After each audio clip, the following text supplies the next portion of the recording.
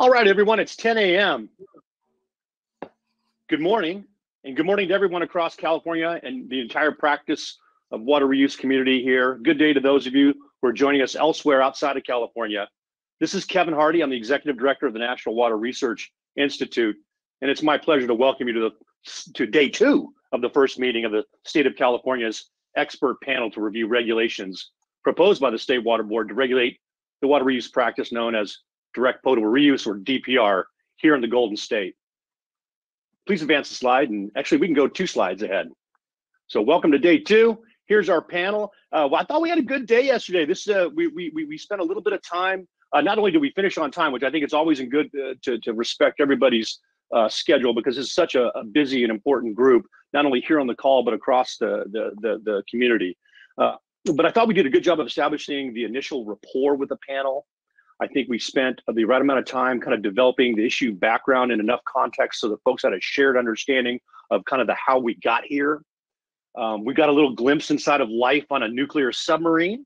Um, we understand, I think we have a real clear picture of where uh, this panel's work uh, fits into uh, the, the very complicated administrative procedure that uh, is required to adopt a regulation here in California. And I think we began to see um, the kind of the outlines of the tasks ahead. So a successful day yesterday, and I want to thank the panelists, the co-chairs, and all the presenters uh, for their attention to detail and for for helping everyone uh, be done on time. Next slide. Uh, here are uh, objectives for meeting two. Uh, we really covered the first two yesterday, uh, and, and we'll, we'll go a little bit deeper on bullet two today. Uh, the big concepts today are we're going to receive some public comments after uh, a, a, little bit more a deeper dive on uh, some of the DPR research. We're going to receive some public comments and then we're going to spend some time in closed session and start to hash out how this work is going to uh, work forward. Next slide. Here's our agenda for today. Uh, we've uh, we, are in the middle of our login or well from our, our welcome and review, and we'll get through that as quickly as possible. Uh, then we're gonna then we're gonna introduce uh, Jean-Francois Debroux and Shane Trussell. And they're gonna go over the findings and recommendations from the DPR4 project, which is critical to the panel's work. Then at 10:50, we'll switch uh, to the DDW project team. They've got a next uh, their next presentation on the issue of chemicals. Uh, we've got some room for clarifying questions from the panel, and then we'll take a lunch break. We'll continue the Q&A from the panel until about 12:30, and then at one o'clock sharp, um, we've got a public comment session. Right now, there are about uh, eight public comments that I, uh, commenters that I've seen. Uh, so we should have time to accommodate them all. We're just going to receive comments today. There's nothing that the panel needs to do in terms of a real-time response, but certainly anything that's uh, presented by a, a public commenter is uh, an issue that the panelists may want to take under consideration. Uh, 1.30, we'll go into our working session, and at 2 o'clock, we're going to adjourn day two. So next slide.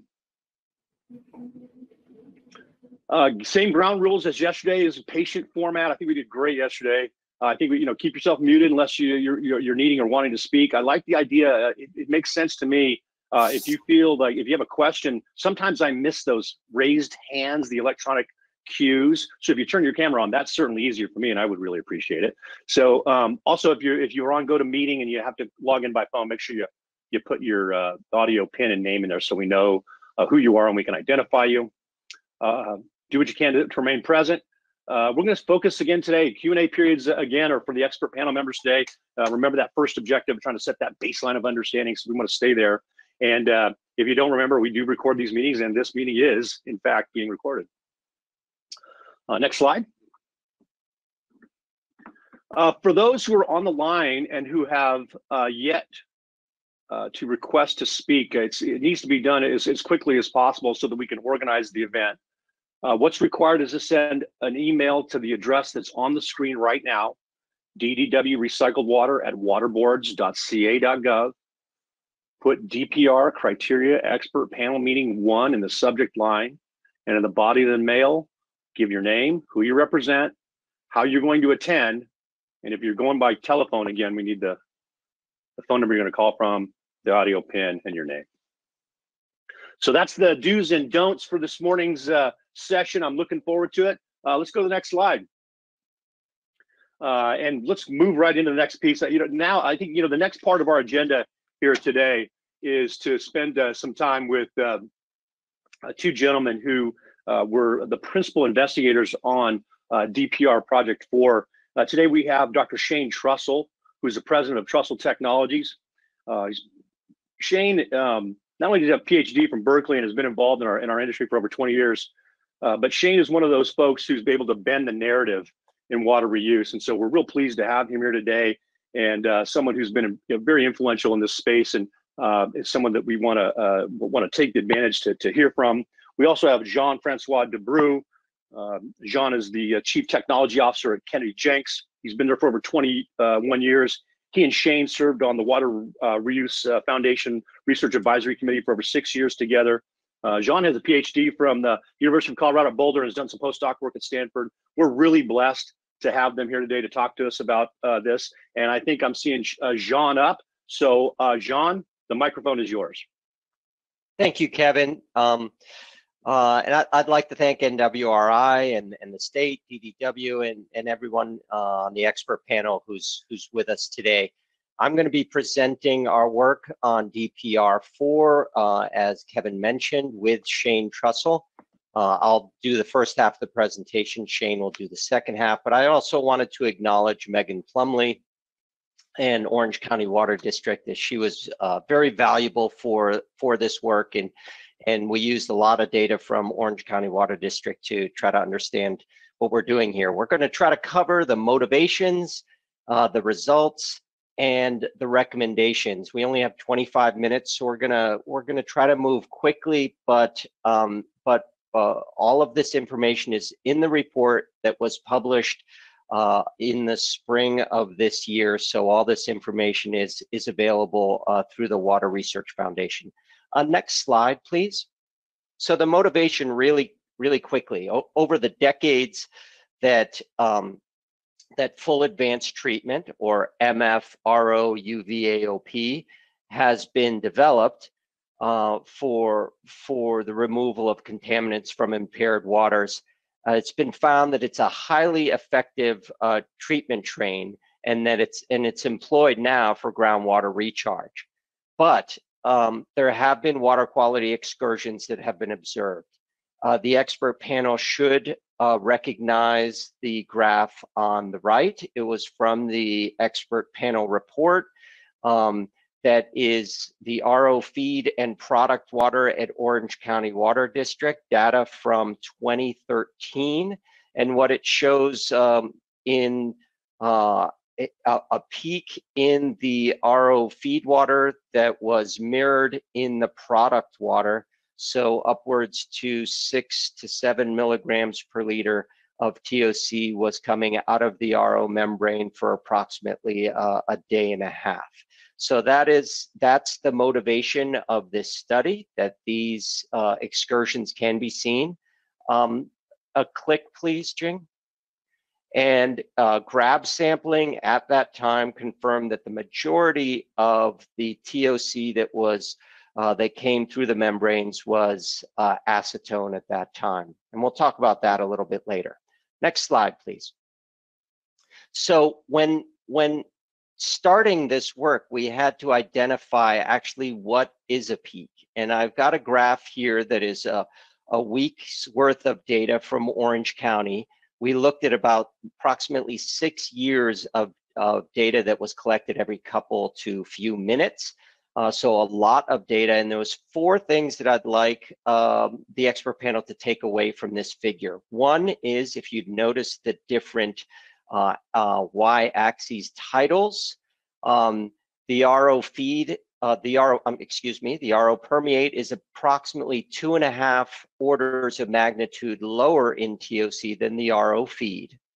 Uh, so uh, reverse osmosis membranes do a very good job in removing TOC. Second thing is there's a diurnal variation in the RO feed water, and that's based upon the loading at a wastewater treatment plant and that is reflected prior to the RO, and that is mimicked in the RO permeate water. So you see a, uh, a variation, a diurnal variation uh, of TOC, albeit at a much, much lower concentration, two and a half orders of magnitude. The third thing I'd like to point out is there are outliers. We looked at, again, six years worth of data and approximately 2% of the, of the data were outliers. And you can see those on the blue line uh, earlier in the week uh, where there are, there are values that are uh, unexpected that are much higher and much lower um, than, than the, the trending TOC values. And the last thing is that in the permeate water, you can see a drift in um, in the uh, in, in the average concentration over time, either increasing in the beginning or decreasing over time. And that can be due from operating uh, the RO facility how it is being operated, the aging of the membranes, or just the drift of the online instrumentation. Again, these are at low concentrations and at the low end of the analytical capabilities of online TOC analyzers. So with all of these challenges, we had to determine how to handle the data set to determine what a peak is. Next slide, please. So we did that by looking at two different things the peak height and the peak width. And both are important and both in our report are required to meet certain characteristics to be defined as a peak. So let's talk about the peak height first. We developed a method, actually took one from the literature, um, uh, to, uh, to define a baseline threshold. And because we have these outliers, we don't necessarily have a non uh, well, normal distribution and we wanted a, a, a, system that all the data could be used so there would be no subjectivity in picking data and we used a referenced uh, water quality um, approach to to define that ba baseline threshold. I'm not going to get into that during the during the talk, but it is referenced in our report.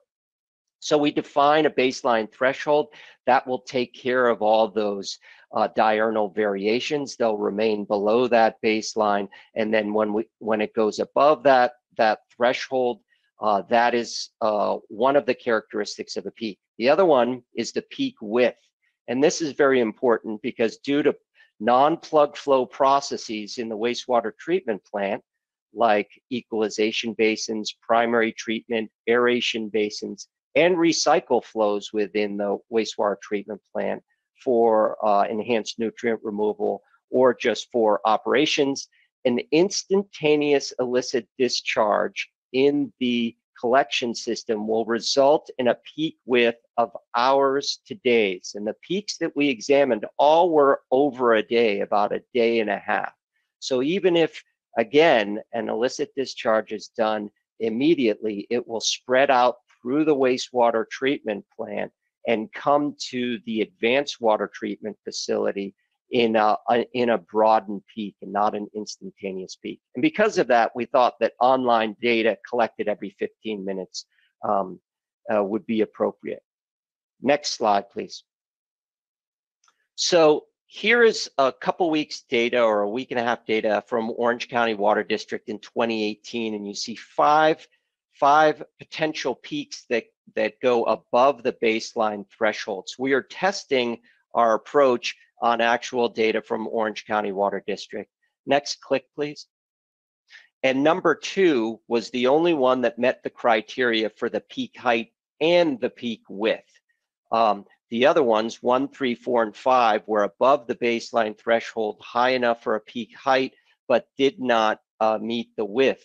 And going back to operations at Orange County Water District, there was an explanation for each one of one, three, four, and five that either had to do with turning on or off RO membranes or having instrument changes at that time. So we felt that our approach um, uh, was able to identify a potential uh, peak and identify um, uh, excursions from the baseline that we do not consider uh, the source as being a um, an illicit discharge of a chemical.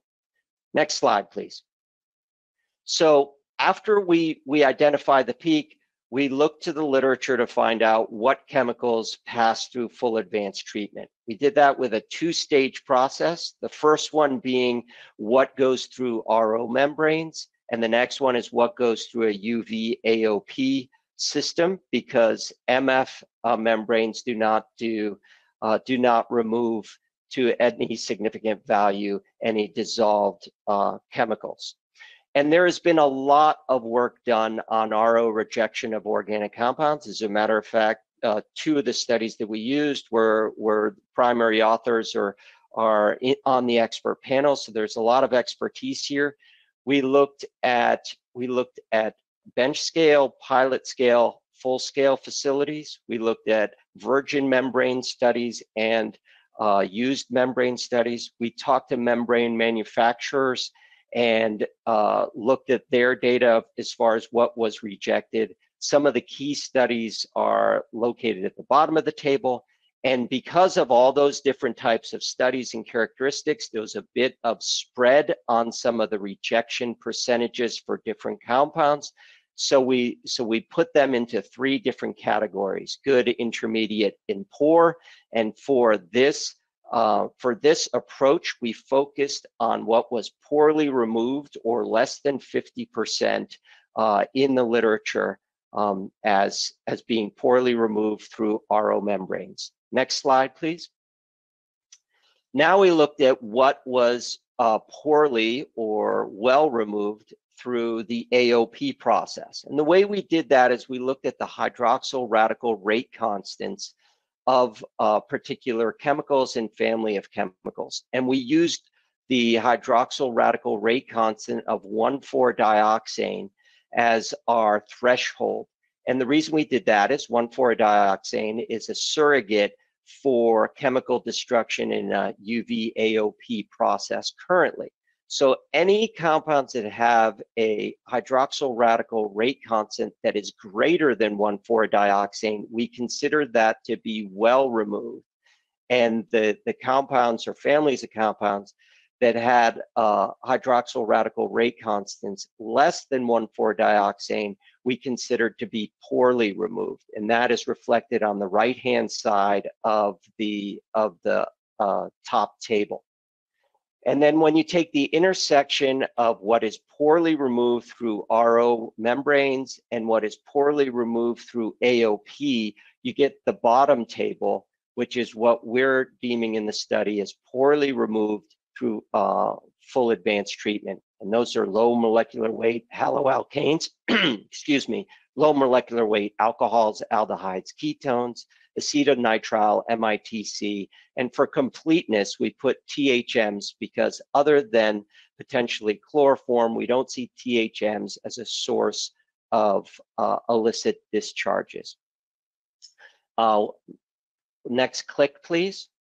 And this has been, uh, we, we compared this table with what it has been seen in the literature, literature at full scale facilities and um, it seems to match up well. We're looking at volatile organic compounds. So what has been seen to break through at full-scale facilities is formaldehyde, 1,4-dioxane, and NDMA prior to UVAOP, um, uh, methyl ethyl ketone, and acetone. So we felt that we had a, a, a pretty good hold on what breaks through uh, um, uh, full advanced treatment. Next slide, please.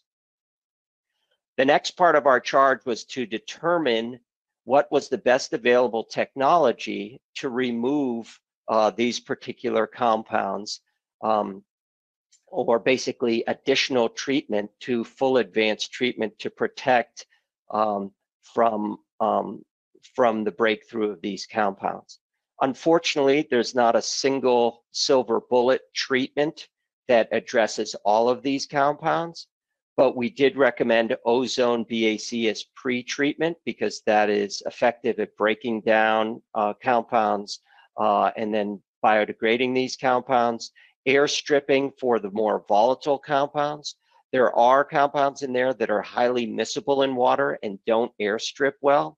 Activated carbon is, uh, is an effective method for some of these compounds and additional RO AOP treatment. If you remember, um, identified less than 50%. So additional um, a- additional treatment by RO AOP could reduce that considerably. And we're not necessarily suggesting additional RO and AOP in series, but more in a recirculating mode like is done at Singapore and is be and that is capable of being done at uh, Pure Water Monterey. And then there is blending, which if the blending is done with water without these constituents, it's just uh, uh, an arithmetic decrease depending upon the, the flow of the water. So that was the first part of our study. And then we moved into case studies that Shane is going to describe next. Next slide, Shane. Yep. Thank you, John. Um, so we were fortunate, as John mentioned, to have Orange County Water District uh, working with us and participating in this and sharing their their information. Um, the, the largest potable reuse uh, facility in the world. Uh, we also were fortunate to have uh, the Singapore PUB uh, sharing their information and experience on on chemical peaks and and managing them as well. Uh, we also finally took a look at the city of San Diego and their experience at the North City water reclamation plant and their demo facility, which has been in operation for the last 10 years. In addition to the case studies, we, we took a look at uh, some of the concepts around chemical peaks um, and, and have created some, some graphics to help us understand uh, what, what different volumes and, and sewer sheds and different scenarios may mean. Next slide, please. So Jean had mentioned this. This is the the 2013 uh, chemical peak that was observed uh, at Orange County, um, and you know the RO permeate went up into above five milligrams per liter of of uh, TOC, and this was found to be largely acetone. Uh, across here in, in the table, I'm showing the acetone samples that were actually grab samples in the feed and the RO permeate that were collected, converting that to TOC. Uh, it did represent uh, 78 to 86% of that elevated TOC concentration. So we were able to identify um, that in that 2013 peak that most of it could be attributed to uh, acetone. You can also, I, I think John mentioned this, but the duration uh, it's it's more than 20 hours of duration uh, that this chemical peak occurred. It's also important to note this is an IPR project, and this really, you know, acetone even at these concentrations is not not a public health concern, but a, a good indicator that there is chemicals that could pass through the full advanced treatment facility. Next slide. Uh, we we did run through uh, a lot of Orange County's data through the uh, peak uh, calculation that John went over earlier. Um, and, and it's important to note that there are peaks that you're going to need to identify operationally that John mentioned. So some of these peaks are just caused by RO trains uh, being shut down. And when they're shut down, uh, you get diffusion of the TOC into the RO permeate, which increases the, the TOC in that RO permeate train while it's offline. And so you see these spikes uh, when when new trains are brought online. So it'll be important to identify those. But there were still some other uh, chemical peaks that that have been observed at Orange County, and I'm I'm sharing here one of them from 2018, which there was more sampling uh, collected. You can see on the right side there, uh, the RO permeate uh, only peaked at 0.24 milligrams per liter of TOC, so a much much smaller peak. Um, and and while this particular uh, plot uh, was not identified as the source of the acetone, it was confirmed it was acetone. There was another event uh, actually earlier in October uh, with a similar height and peak uh, that the source working with Orange County Sanitation District, uh, OCWD, was able to identify the source of that chemical peak, which was isopropyl alcohol about 700 gallons of isopropyl alcohol that was uh, spilled uh, due to an operational error uh, at a food processing facility. Um, and as that breaks down, that becomes acetone. Um, so uh, they have, through their uh, collaboration together, been able to identify uh, some of these chemical peaks, but there are others that remain unidentified. Next slide. As to their source. Um, we also worked, as, as I mentioned earlier, with Singapore. They have these, these four water, water reclamation plants, the, the Kranji, the Jurong, Ulu Pandan, and the Changi. Uh, most of the work that we, we did was really focused on the Kranji facility and, and the Jurong facility. Next slide. Singapore does not have uh, a federal pretreatment program like we do here in the United States. Um, and so they've they've been developing uh, their list of, of compounds that are prohibited. Um, and as you can see here, a lot of these compounds would be those type of compounds that would be of concern uh, to a, a, reuse facility with full advanced treatment. Uh, these are these are volatile in nature and able to pass through uh, the full advanced treatment process. Next slide. Uh, one of the one of the very interesting things that Singapore has done uh, was installing and implementing a a online uh, metering program out in their sewer shed. Uh, they installed VOC monitoring devices in the sewer shed uh, in the Jurong uh, collection system area, and they were very effective at reducing the number of, of VOC incidents that occurred. Uh, so really demonstrating the power of, of such a, a system to be able to track down and really uh, reduce the, the number of incidents that occurred. Um, since since uh, this work, uh, they've they've begun to move away from the VOC monitoring in the sewer shed and began to look at um, microbial electrochemical sensors, uh, which uh, are, are hoping to allow them to capture uh, even more of the, the VOCs and hopefully do it at, at a more uh, reasonable cost with less maintenance. There's a lot of uh, costs and maintenance associated with these uh, VOC monitoring devices, although they're very effective. Next slide. I'll be covering a little bit later uh, the results of some of the work that was done at the San Diego uh, demonstration facility but importantly, uh, some spike challenge work was done um, using acetone, NDMA, formaldehyde, and 1,4-dioxane. So, so chemicals that have been documented uh, to pass through uh, full advanced treatment. Um, and really looked at and contrasted and compared uh, a, a, treatment train with ozone BAC uh, as pre-treatment and to an, a full advanced treatment facility. Um, and it concentrations there across the bottom of, of how much uh, was challenged. Next slide. One of the things that we did uh, was begin to think about volumes of, of potential illicit discharges. Um, here we've got uh, into a 10 million gallon uh, sewer shed what the impacts of, of different uh, volumes of an illicit discharge would be from a tanker truck, which is 4,500 gallons, to an acetone drum, which is 55 gallons, to a one gallon uh, laboratory size bottle of, of, acetone. As you can see, um, anything larger than the one gallon uh, acetone bottle would, would be noticed and observed uh, at the facility. And uh, also, you know, even the, the 700 gallons uh, was, was noticed uh, of isopropyl alcohol at, at Orange County, which has has a very large flow uh, of greater than 100 million gallons coming to it per day. Next slide. The other thing that we noted was just the the size of a collection system. So the the larger the facility, the more flow coming to the facility, the less likely it is to be uh, impacted by uh, an illicit discharge. And this is indicated here comparing a 10 million gallon sewer shed to a 100 million gallon sewer shed, looking at that uh, 4,500 gallons of acetone being illicitly discharged.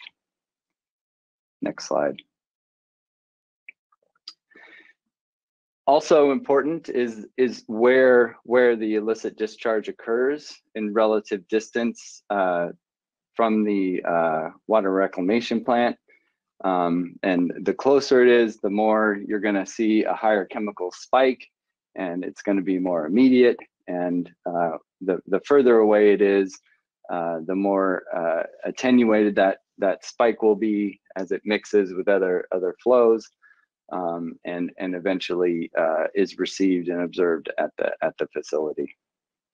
So both of these are the same masses.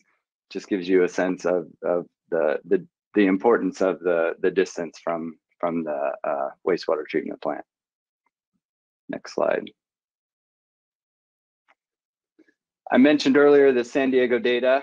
Um, so what we've done here is we developed a uh, an example of, of removals using the removals that were observed from that uh, demonstration work.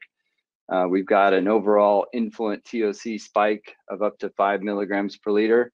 It's 100 pounds of, of chemical, 25 of acetone, formaldehyde, NDMA, and 1,4-dioxane.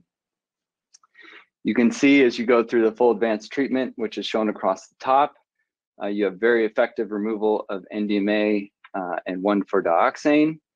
Um, but really, for the most part, the acetone uh, and the formaldehyde are largely passing through the full advanced treatment, uh, and we still observe a TOC spike of 2.4 milligrams per liter.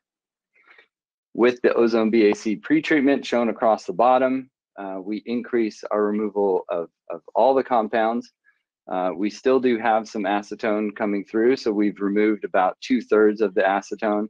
We've removed more than 90% of the formaldehyde, and we've essentially taken the NDMA and the 1,4-dioxane down to non-detects with the additional removal that is offered by the ozone BAC.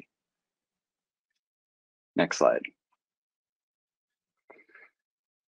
Another thing that we did was think about the engineered buffer uh, or, or storage tanks or where, where this purified water gets delivered and its ability to attenuate these chemical peaks.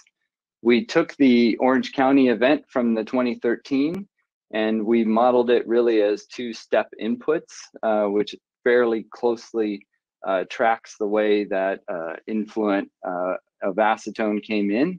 Uh, so we have a step, a 10 hour step uh, at 0.9 milligrams per liter and another 10 hour step at 5.7 milligrams per liter. These are engineered tanks of 24 hours, 12 hours, six hours, and three hours.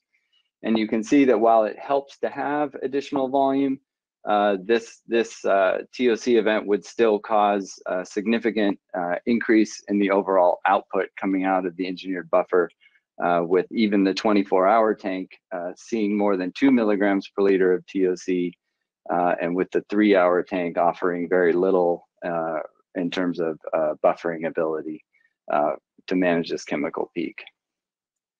Next slide. However, as we get out towards larger volume, uh, which is any anything less than 60 days of residence time uh, in a reservoir is considered direct potable reuse. And this was a conversation yesterday uh, about the differences between raw water and, and treated water augmentation. What we're showing here is a one day uh, buffer, environmental buffer, 10 day, uh, 30 day, and then 60 days. So we've moved from hours to days here.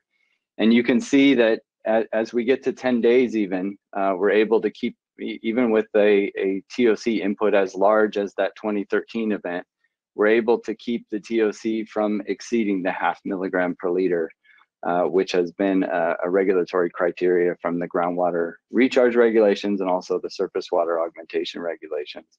And as we get to larger reservoirs, that that attenuation of this this peak is even even better. You really wouldn't even barely see it. Next slide. Another thing that we thought about was the online TOC analyzers. Uh, we've got uh, a couple different types. There's some that work by UV persulfate and others that work by uh, uh, like an advanced oxidation reaction with ozone and hydroxide. Uh, the expert panel had expressed some concerns that uh, highly volatile organics might not be captured with these online TOC analyzers. So we took a look at that in this project. Next slide.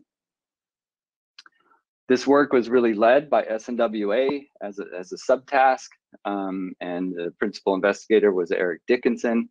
Uh, we, we considered a lot of different compounds, they're all listed here, um, and really in the end, uh, we selected five uh, for a lot of the trial work that was done. We also looked at different analyzers. Next slide. And really, as we were choosing and selecting what, what compounds to look at, we were trying to cover two aspects. One is ensuring the compounds had a range of volatility, uh, as shown here with the, with the various uh, Henry's laws constant, and then also ensuring that the compounds had a range of uh, essentially oxidizability, so how, how well oxidized they could be. Uh, and we were we were looking at that using the the hydroxyl radical rate constant making sure we had variation variations on both of those. Next slide. So uh, a lot of participants, Orange County Water District participated, the City of San Diego, uh, both with their online and, and laboratory units. Uh, manufacturers particip participated, so we had Suez, which is the original Sievers uh, TOC analyzer, uh, Shimadzu and Hach. We also had Valley Water participate with their online analyzer and SNWA with their desktop analyzer. Uh, there was more than uh, 400 samples analyzed uh, for different TOCs, so spiked and then and then analyzed to, to check the TOC concentrations. And in general, the results uh, demonstrated acceptable performance for the measurement of even some of these volatile compounds, assuming that the Henry's law, the Henry constant remained below uh, 0.133, and uh, we were able to see recoveries of at least 50%. Next slide. So in, in wrapping this up, you know, there's a lot of different chemical control strategies that we can use, enhanced source control, online sewer shed monitoring, nitrification, denitrification and filters, ozone BAC pretreatment, response time, having diversions, blending, uh, which is the mixing of, of the purified water with another water, and then dilution, which dilution is uh, putting in off spec water into water that is on spec to essentially dilute down that, that off spec event, which is really the, the basis of the surface water regulations here in California. Next slide.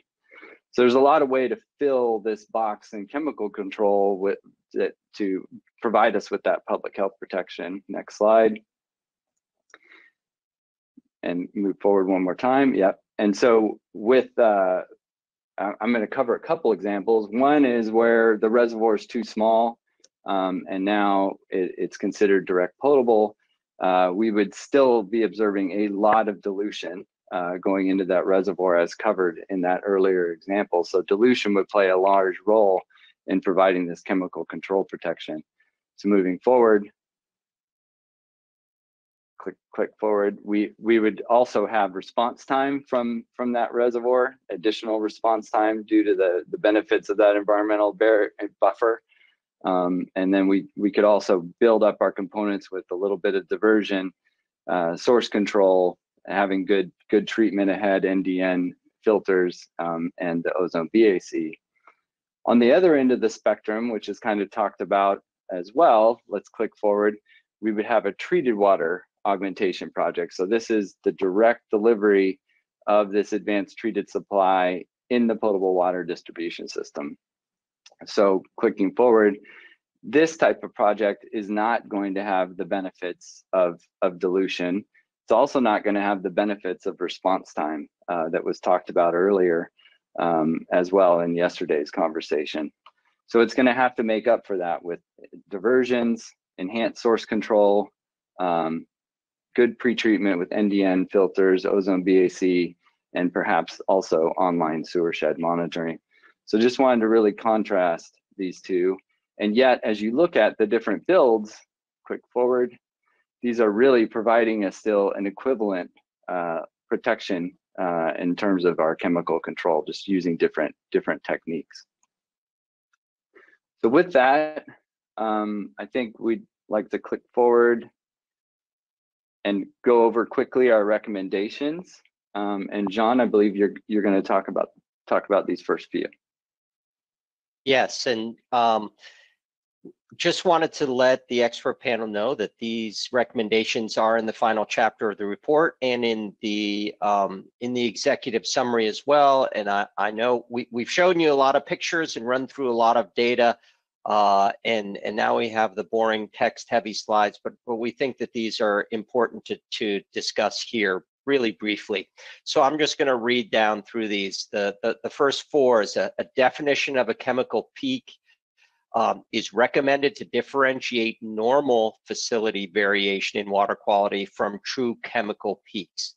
Um, in this study, chemical peaks are defined as resulting from intentional or unintentional illicit discharges of chemicals to the sewer shed. We believe that that was our charge to, to look at th that type of a scenario and defining the peak is vital to identifying that versus uh, typical operational um, activities. Online monitoring of TOC is recommended as a feasible option for capturing chemical peaks. Uh, Shane showed the, uh, the, the data from the experimental portion of our project. And TOC is already used as a critical control point monitoring device for RO systems uh, related to compliance. So, so we, our recommendation is to continue using online TOC. Um, Recommendation number three, experimental results suggest that commercially available TOC analyzers have the ability to detect chemical peaks originating from volatile organic compounds. Um, amongst the TOC meters that were tested, at least two models demonstrated acceptable performance and are recommended for DPR projects. And the details of that are summarized in chapter six, but the full report from SNW uh, A is in the appendix of that report. And then the fourth recommendation is given that chemical peaks are expected to last on the orders of hours to days, no more frequent than a 15 minute minimum sampling interval is recommended for the online TOC analyzers. Um, next slide, please. And Shane, Yeah, so continuing on, due to the very limited expected frequency of chemical peaks, it was less than a half percent of the case study data evaluated. Periodic grab sampling for compounds known to potentially escape FAT is not recommended for the purpose of discovering this illicit discharge. So we, we're, we're discouraging a lot of sampling uh, and really then moving to point six, utilities should prepare a formal TOC response protocol so in the event of a TOC spike, as part of that protocol, a grab sample would be recommended. Uh, so then you could uh, confirm that the TOC analyzer is reading correctly and also identify possible chemicals uh, and then communicate with the source control program to work on tracking that down. Point seven, an enhanced source control program is recommended for DPR that proactively deters and diminishes the occurrence of chemical discharges and a tailored source control monitoring program can help identify the source of an illicit uh, discharge. Point eight, uh, additional treatment barriers as covered in our slide deck uh, in conjunction with FAT should be considered to increase robustness and further reduce the concentration of chemical constituents. Uh, the barriers include ozone BAC, air stripping, activated carbon, uh, and additional treatment through recirculation, uh, as John mentioned earlier. Next slide, and done at existing facilities. Last two here, so DPR applications that have the option to use a small reservoir should consider doing so given the benefits of the small reservoir for chemical peak averaging due to blending. And then utilities considering DPR should pursue a balanced approach to control chemical peaks that includes an appropriate combination of two or more of the following, the source control, enhanced monitoring such as sewer shed monitoring, uh, additional treatment barriers and or blending. And with that, I think we'd be happy to take any questions. Maybe acknowledge our research team, Stephen Timko, Rod Rodrigo Tackaert, Alex Pisarenko, Stephen Timko with KJ, and Rodrigo and Alex with Trussell Tech. Uh, the collaboration with, with Adam and Jim throughout this, uh, the careful review, comments, and data from Mehul, greatly appreciated um, and and WRF for their support uh, as we went through and did all the work on the project. Thank you.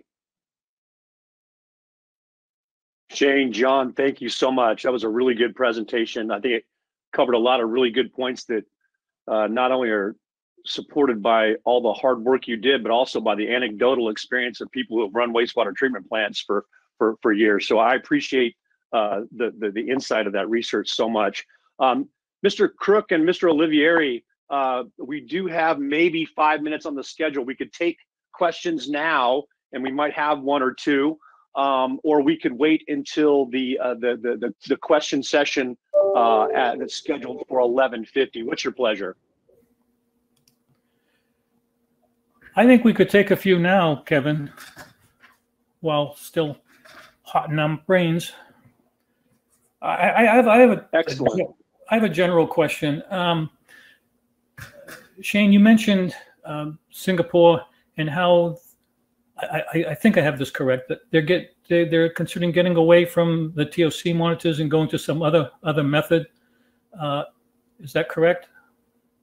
Yeah, and not the TOC, the VOC, the volatile organic. Oh, the, the VOC, okay. Yeah, That answers my question then. no, they they're they've got a lot of TOC analyzers and use those and depend on those. Good, okay, thank you. Other questions? From I see Chuck is is is here. So Shane, you saw some spikes that didn't meet your definition of peaks because they weren't wide enough, correct? Uh, y- yes, we saw those as well. So Yeah. what do you think those are from? So th- those, quite honestly, most of the um, the sort of noise we get, uh, uh, for the most part, appears to be like a train coming online or offline. I would say that's probably our one of our greatest examples, other than the meter deviating or drifting on its own. That's why Orange County's gone to having, and Singapore has it too, uh, two meters uh, so that you, you're better able to track and discern if if one is just drifting and the other one, or if they're both giving you the same value. That's why when we showed those chemical peaks, they're they're both tracking, um, and so therefore we we know it's it's real. But I, I think it's really important for DDW to hear as well that you know when a train's offline, the the RO permeate of that train is is is increasing in TOC, and that's just happening through natural diffusion. When that train's brought back online, it it will spike our our effluent meter. Um, Well, so should there be a protocol that when you bring a train that's been stagnant online, that you waste a certain several minutes of flow? Yeah, I, that could be talked about. I think there's additional costs and implications, you know, Sure. valves and um, Sure. a lot of infrastructure associated with that. So what's the real value? I, I feel like the, the online measurements we're doing are to track, um, you know, any, any sort of, eh, like the title here, to, to address uh, known deviations from what's normal. And if it's kind of just a startup, I, I'm not sure that that's warranted, but um, could, could Unless you were also about. getting chemicals of concern that were sloughing off at the same time that your TOC was sloughing off during restart. Yep. True. Interesting question. Indeed. I can tell you that uh, meters and monitors drifting is a, the bane of the wastewater treatment plants. it's just difficult to manage and it sends you in all kinds of crazy directions, and you're wrong. So, uh, any other questions here before we move on? I think we're kind of in the interest I, I have one, on I have one question uh, to Shane and John. Great presentation. Uh, Did you notice any uh, differences or any correlations with peak flow rates? Or different times of day? Well, there's definitely the diurnal variation of the uh, of the TOC concentration in the recycled water, the post, you know, wastewater treatment plant water that's reflected of the the loading that goes on during the day.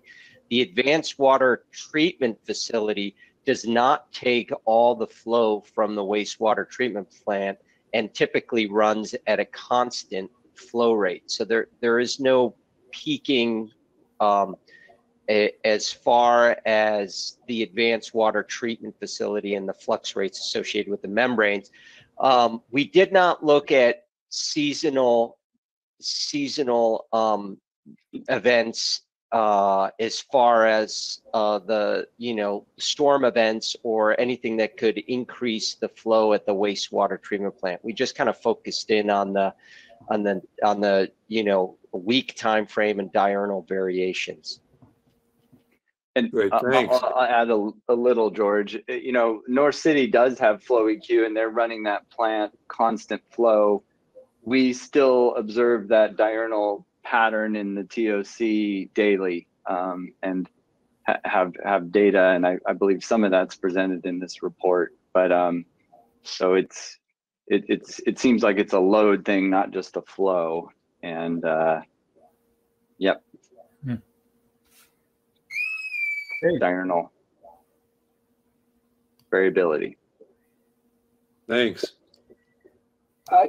I just had a couple of comments. I, ever since I discovered many years ago that Singapore is doing something along this line, I've kind of pushed for the idea of this kind of research, and it's great to see it having been done, basically. And to make one comment on Chuck's question, uh, the diffusion through the membrane while it's standing there is still going to be limited to those compounds that get through by molecular si I mean, so it's not like everything that's in the uh, TOC is going to get through there in any great abundance.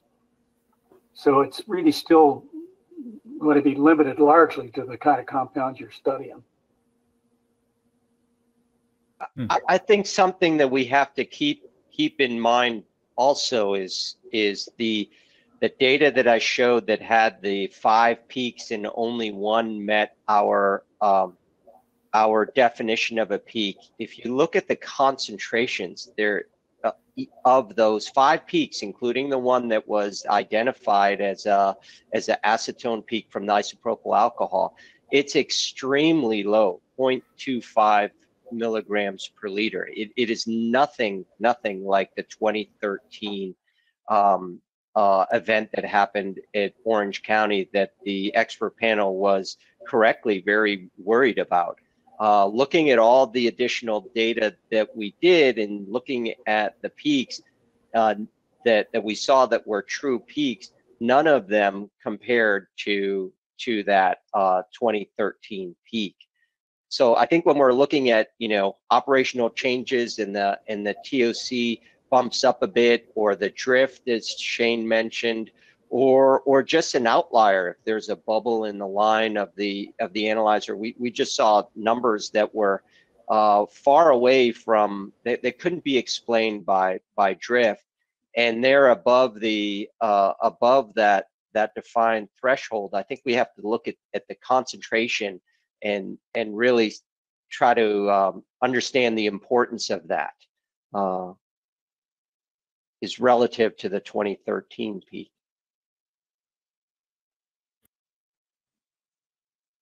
Excellent. Well, we've, uh, I think we've, it looks like we've exhausted the questions for, uh, for now. And we, a reminder that we have another, uh, Q and A session scheduled for a little bit later today. But right now, let's, uh, transition with a thank you to Shane and John and hope you can, you can stick around. I'd, I'd love to have you, uh, be available later, but I understand you guys are incredibly busy. So thank you very much. I appreciate your support. Thank you, Kevin, and and I'll be here. Thank you so much. As will I. All right, that's great. Thanks, guys. So now we are going to move uh, to a discussion of the proposed chemical control criteria that's going to be brought to us by Brian Bernados. Brian is a, a longtime contributor, uh, both in this field, obviously, is a is an, is a is a is a legend in the water reuse field in California and across the United States, and has been a, a very kind and benevolent contributor uh, to NWRI and its projects. So we thank you for that support. Uh, Brian, the microphone is yours. Oh, Well, thank you, Kevin. That was quite a nice introduction. I never thought of myself as a legend, but thank you. Um, so I'm going to cover our criteria. And specifically, I we're going to refer the expert panel and others watching to look at these sections in our draft criteria. 64669, uh, point 40, point 50, point 25, point 30, point 35, point 65, and point 80. Next slide, please. So I heard a proverb earlier this week that said, don't tell me what you know until you tell me uh, who you are. So I want to spend some time telling you about myself. Uh, again, my name is Brian Bernados. I have a PE license, civil engineering in California, and a master's degree. My undergrad was at Pitt, and then the master's at San Diego State. I'm a classified as a senior sanitary engineer with the state. I've been with the state for 29 years. Before that, I uh, worked in construction uh, with uh, Turner Construction, big company out of New York. Some of you have heard of them, and also some other volunteer work and with consulting, uh, the old James M. Montgomery. So, but the last 29 years, I've been with the state. Primarily, it was the health department, and over the last six years, I believe it's the water board.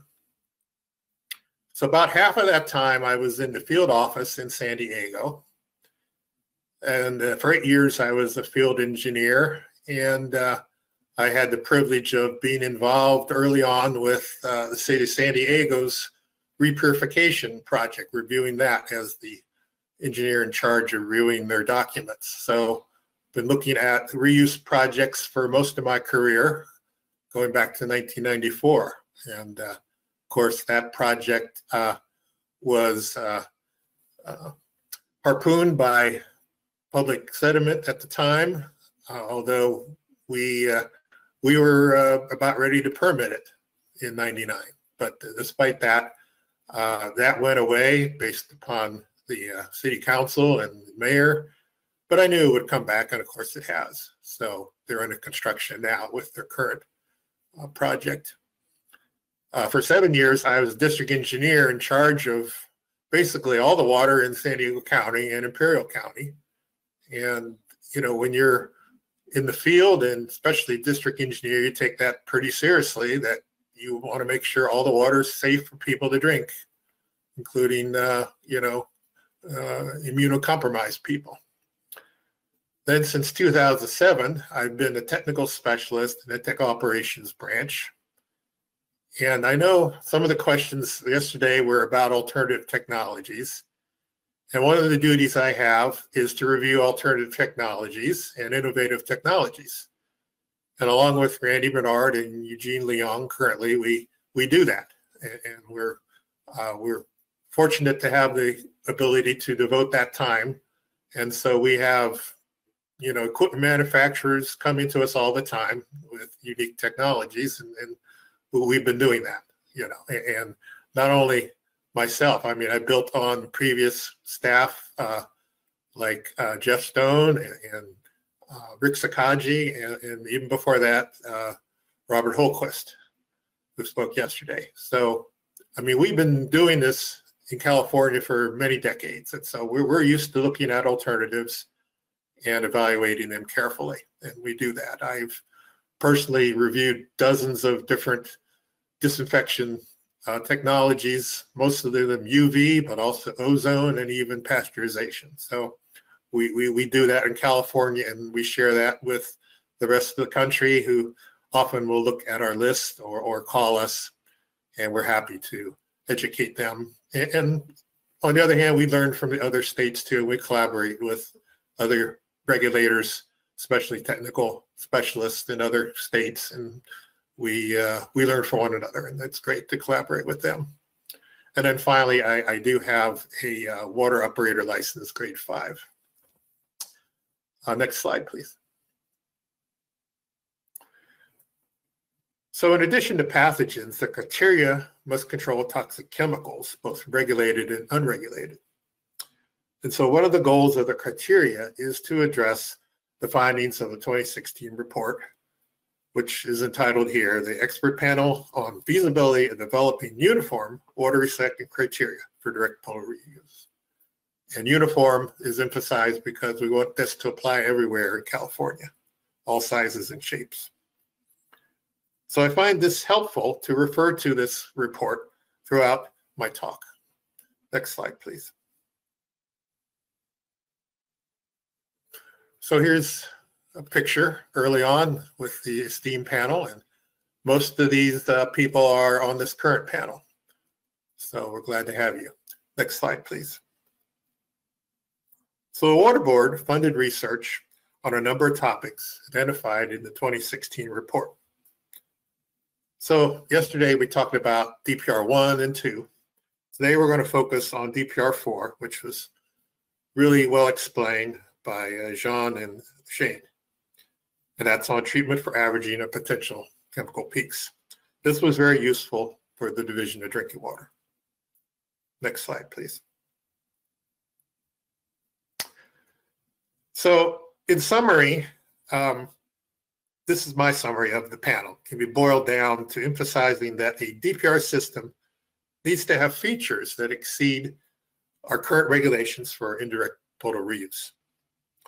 DPR must be reliable. It must have a diverse set of processes. In other words, we're speaking of robustness, and I'll explain that later. Diversion of off-spec advanced treated water, and some averaging of potential chemical peaks is important. Next slide, please. Now, the potential health effects from chemicals in many ways are like indirect potable reuse. So in other words, groundwater injection projects and surface water projects must have reverse osmosis and advanced oxidation, as is seen here. Next slide, please. But the big but is there's DPR is different in two ways. And of course, we've been showing this graph, you know, for several slides already. And this was in the expert panel report. So one way it's different is there's no significant environmental buffer. And so even though this happened at Orange County Water District, this really wasn't a violation of our IPR regs, nor was it identified as a particular health concern by us, especially because it goes into the ground and basically has at least three months and often six months of travel and diffusion in the groundwater aquifer.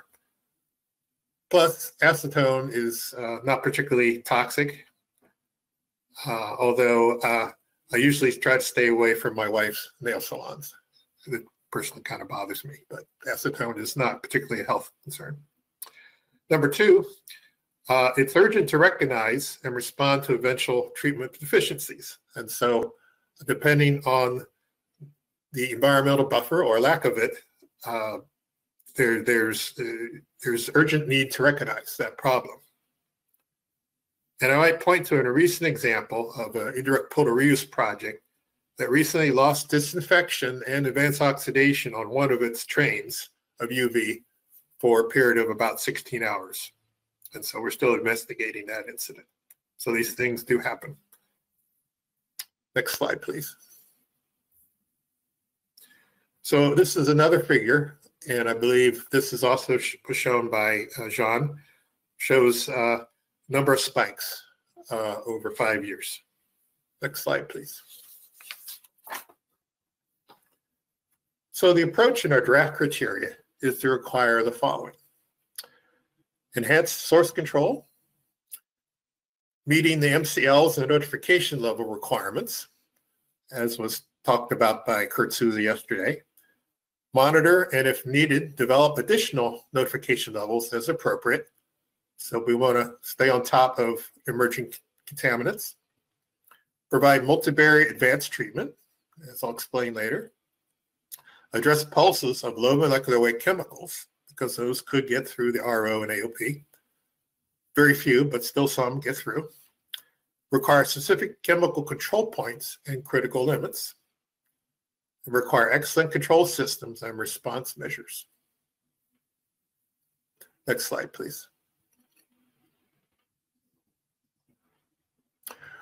So I'm going to continually talk about different sections of our draft reg, and I would refer you to them. And let me point out that there's an important link between source control and the joint plan. Now, one of the comments we've got from a number of cities involves the roles of sanitary districts and public water systems. Now, our approach and our criteria is that the joint plan should address these issues and specifically source control. These different agencies that are normally independent will need to come together in an agreement to create a joint plan. And of course, a good example of this is Orange County Sand District, Orange County Water District, which has a very excellent cooperation and joint plan. The joint plan can work out the unique situation of each project. And we've heard a lot already from people interested in DPR. And so we know there's many different styles and shapes and, and types of DPR, and each situation can be dealt with through the joint plan, which is required. Next slide, please. So we require some additional monitoring in the collection system, which is important and was talked about earlier today. And of course, we want to be looking for contaminants of emerging concern and endocrine disrupting chemicals and pharmaceuticals.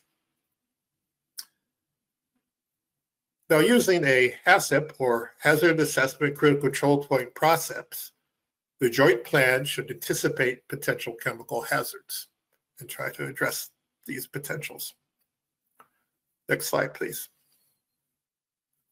Now, quoting from the 2016 report, implementing a rigorous source control program designed to control the discharge of toxic chemicals and other contaminants into the wastewater collection system that serves the DPR system was one of their points. Continuing the quote, the source control program must include stringent sewer ordinances and ongoing surveillance. Therefore, next slide. Our draft criteria in source control section 64669.40 includes the following rigorous source control criteria. Includes a risk assessment, ordinances that utilize local limits that go beyond EPA pretreatment compounds to protect public health and DPR projects. Audits on a regular basis, an early warning of potential peaks, and a source control committee. Next slide, please. So the Water Board funded a special NWRI advisory panel on DPR source control.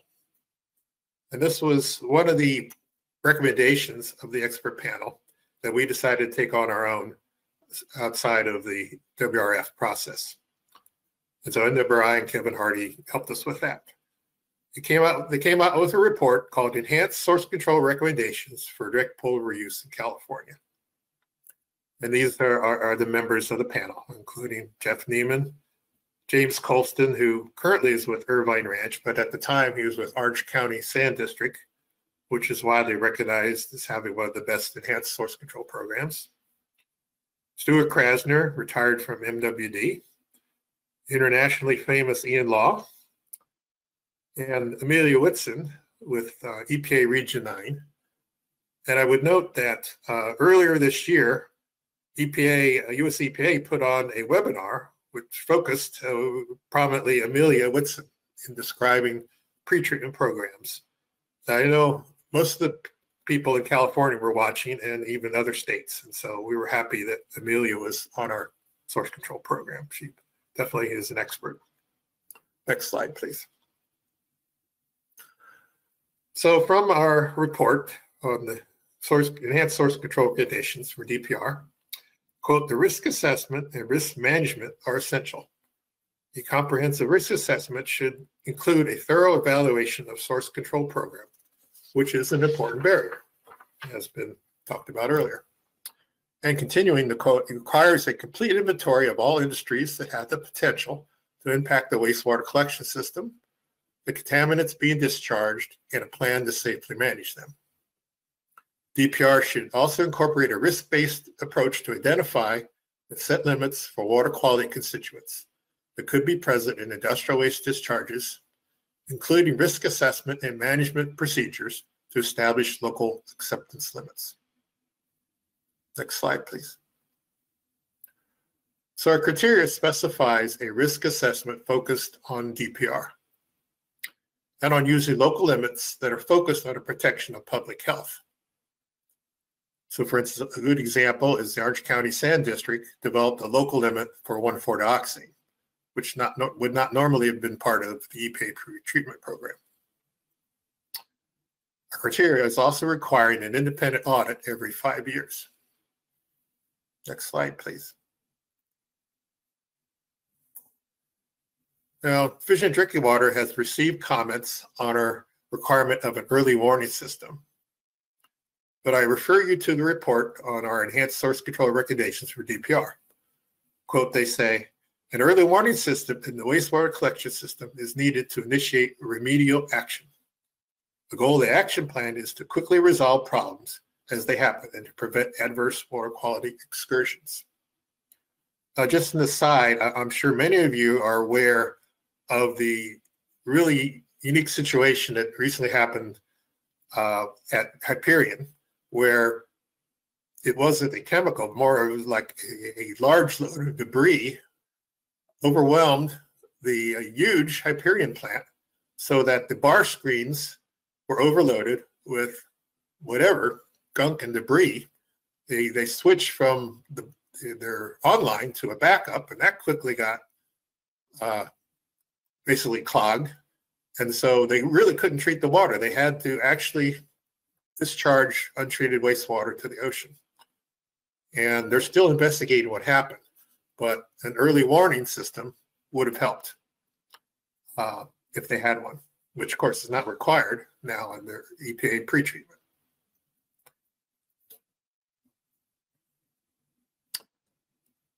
Next slide, please.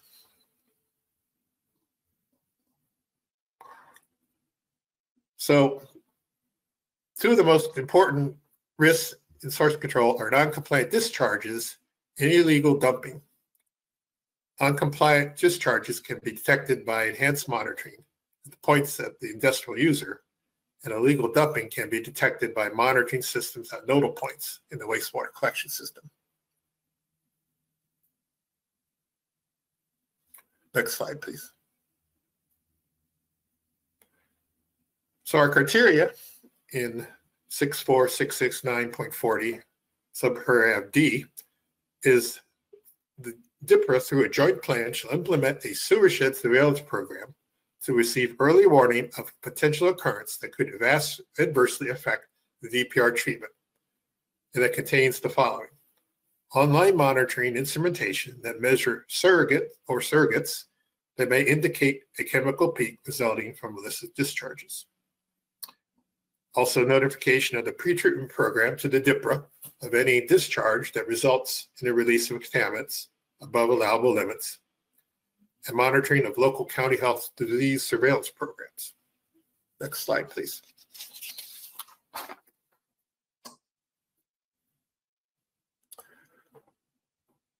So we have had comments that such a monitoring system is not feasible.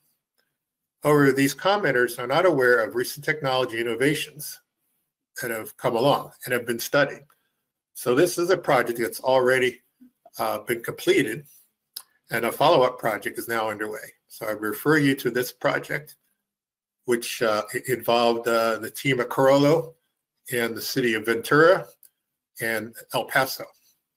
And uh, they, they basically demonstrated that such a monitoring system is feasible. And that uh, I would refer you to that, which, you know, they, they used, uh, uh, for instance, the Kando system in Ventura, the SCAN system in um, uh, city of El Paso. I would note that the Israeli Kando presented during a recent seminar that was uh, internationally watched by and sponsored by the US EPA and Israeli, a three-day collaboration on technology webinar, which was really fascinating. And so Kando was one of the highlighted speakers. Uh, I would point you to a utility in Oregon, Clean Water Services. They presented at the 2021 Water Reuse Symposium, which you might be able to uh, go back and look at. And they had some really interesting videos showing their online system where they basically pick some off the shelf instruments and use their own control system. And then the uh, SCAN was used at El Paso. And uh, that's a DPR system that's going to maybe be the first true DPR to come online in the next year or so. So this is feasible. Next slide, please. Next, I want to talk about the Source Control Committee. So subparagraph E says a DIPRA shall form a committee that includes representatives from all wastewater management agencies, partner agencies that operate treatment facilities, representatives from the industry, and other users that discharge. And F, a DIPRA must institute a continuous improvement process to address all aspects of the enhanced source control program.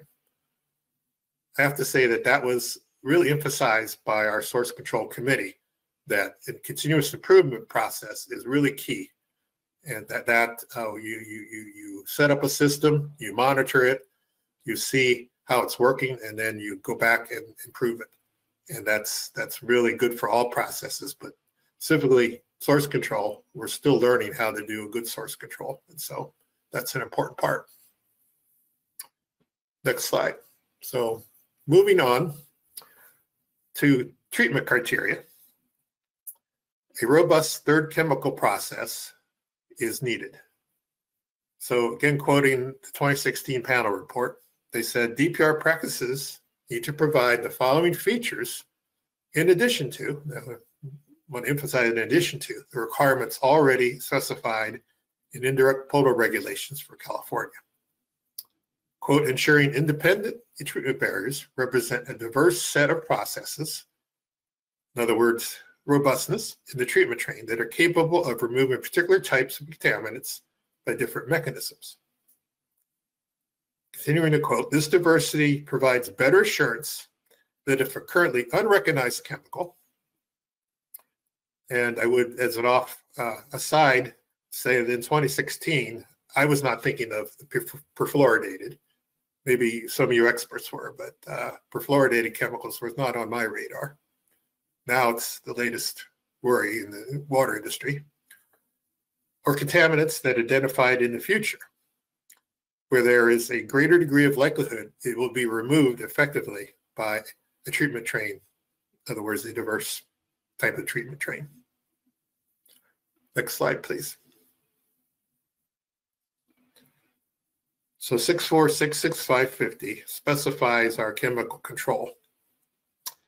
And our treatment train must consist of at least separate, three separate treatment processes using diverse treatment mechanisms for chemical reduction. So it currently uh, requires ozone biological activated carbon, reverse osmosis, and advanced oxidation process. Next slide, please. And so we just heard from the experts on the DPR and that was an excellent report. As I mentioned, we we've been uh, learned a lot from that. And to me, it boils down to five options. Let's talk about blending first. Now, blending certainly would work for any peak if there's enough blending. Uh, as you saw, uh, depending on what size buffer you have, uh, depends on the blending, but it also depends on uh, what's actually being dumped the duration of it, and the proximity of how close it is to the intake of the treatment plant. So there's a lot of a lot of uh, variables, and so blending could work, but you need you would need an awful lot. You know, as was pointed out, you might need 30 days uh, in a reservoir. So next, and that was recommended by the project, was ozone BAC. Now that works on formaldehyde, which may pass through the ROAOP. And that's really what we wanted to address is those type of chemicals, the aldehydes, and some of the other things that was mentioned by Jean Debroux. Next option that they looked at was GAC. And of course, that works. We know that that's used a lot for uh, water treatment plants that have certain uh, VOCs. It works on THMs, disinfection byproducts. It can work on uh, PFOA, PFOS. We're still learning about some of the shorter chain perfluorinated compounds. But, uh, and most VOCs, but not all VOCs, not on highly polar VOCs. and not on formaldehyde. So that as was mentioned, there's air stripping, which again, uh, it, it is used for water treatment plants, specifically at uh, contaminated groundwater, where you know what the VOC plume is. And uh, it works on the VOC depending on the Henry's Law constant. So uh, contamination of benzene or uh, trichloroethylene or other things that are in some of the California groundwater, uh, air stripping does work, but it's limited. And again, the second pass RO would work, except again, it doesn't remove all the neutral low molecular weight chemicals. And it's very expensive, of course. Next slide, please.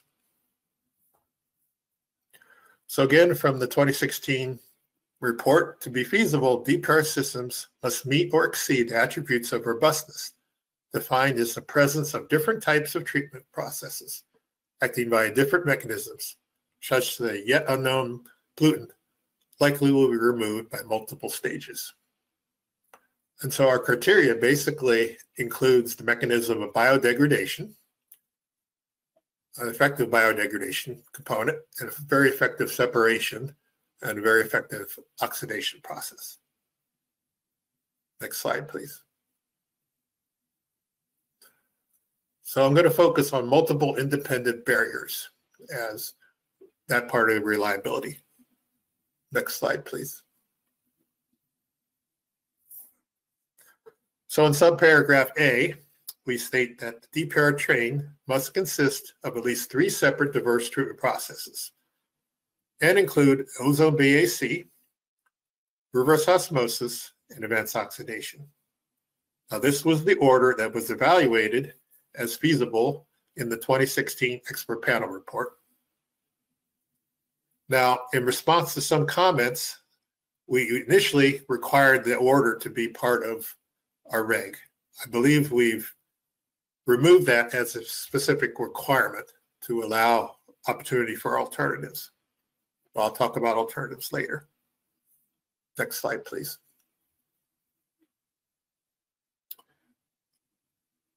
So we also need to define the design criteria for each of these mechanisms. Now, we already have uh, the separation criteria for RO in our existing IPR criteria. And we basically cut and paste what's in our recharge and surface augmentation into this reg. And the same with advanced oxidation. We use the existing criteria for that, which is the half log 1,4-dioxane reduction. But we need a new design criteria for ozone BAC, which um, even though it's being used is still kind of a newer technology relative to RO and AOP. So we're still learning a lot about it. And so we needed to have some criteria. Next slide, please. So in subparagraph C, we uh, have certain things required.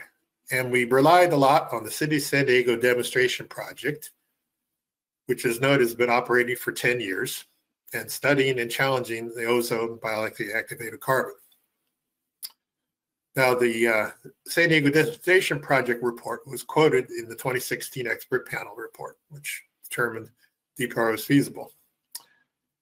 And really, the details are in the WRF Project 1412.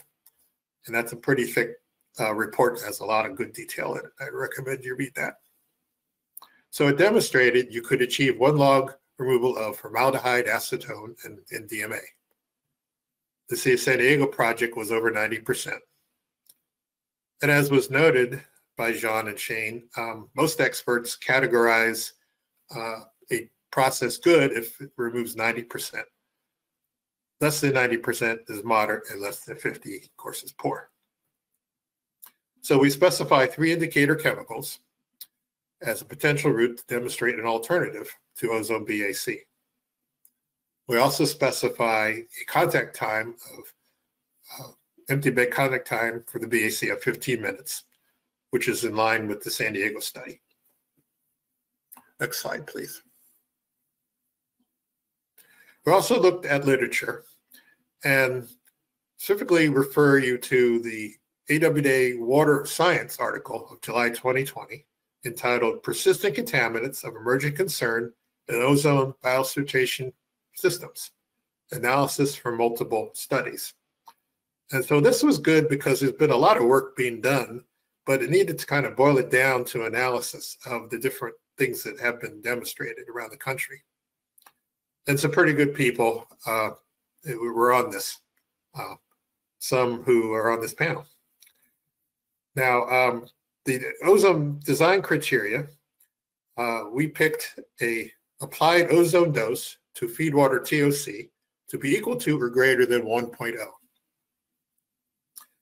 Note that this, uh, this analysis article noted that the average in these studies was the ozone to TOC ratio of 0.9. So we think 1.0 is a good design criteria. Also, uh, as a side note, I want to point out that often these chemical requirements produce really good pathogen log removal. And having a ozone to TOC ratio equal to one or greater pretty much ensures at least a one log inactivation of cryptosporidium, maybe even two. And note, yesterday we require, and I hope you caught that, four separate barriers that have at least one log removal credit. And so you want to operate the ozone BAC such that it meets that ability to be that fourth barrier. Next slide, please. So we have got some comments about what would we do with a satellite plan? And we certainly want to try to uh, allow that if, if it can be demonstrated. Now, some are proposing that uh, the RO and AOP be done at an advanced facility uh, and uh, used for indirect, indirect reuse projects, but at a point downstream in a long, uh, long uh, transmission main, maybe closer to a surface water plant, what would what would we think of having the ozone BAC as a, at a separate plant downstream? Of course, if you're doing that, then the satellite plant would be a much smaller flow and be more cost effective. Next slide, please. So we've been asked, how would we define an equivalency? So working with some uh, experts, uh, notably the team at Trussell Technology, uh, we find that we could use these three indicator chemicals, formaldehyde, acetone, and NDMA. The first two, formaldehyde and acetone, as has been noted, pass through full advanced treatment, RO and AOP, and NDMA is created. So we want to make sure the the, the BAC is uh, appropriately removing uh, and having good biodegradation, and NDMA is a good surrogate for that. Also, although I think this would be more guidance, is the TOC is typically reduced by 30%. I think we removed that from our criteria, but that's good guidance. Next slide, please.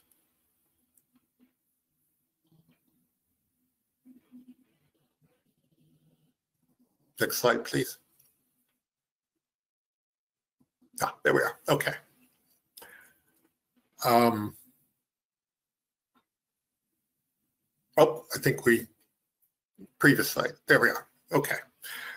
All right, I, did, I didn't see that. So now what about ozone BAC at a drinking water plant?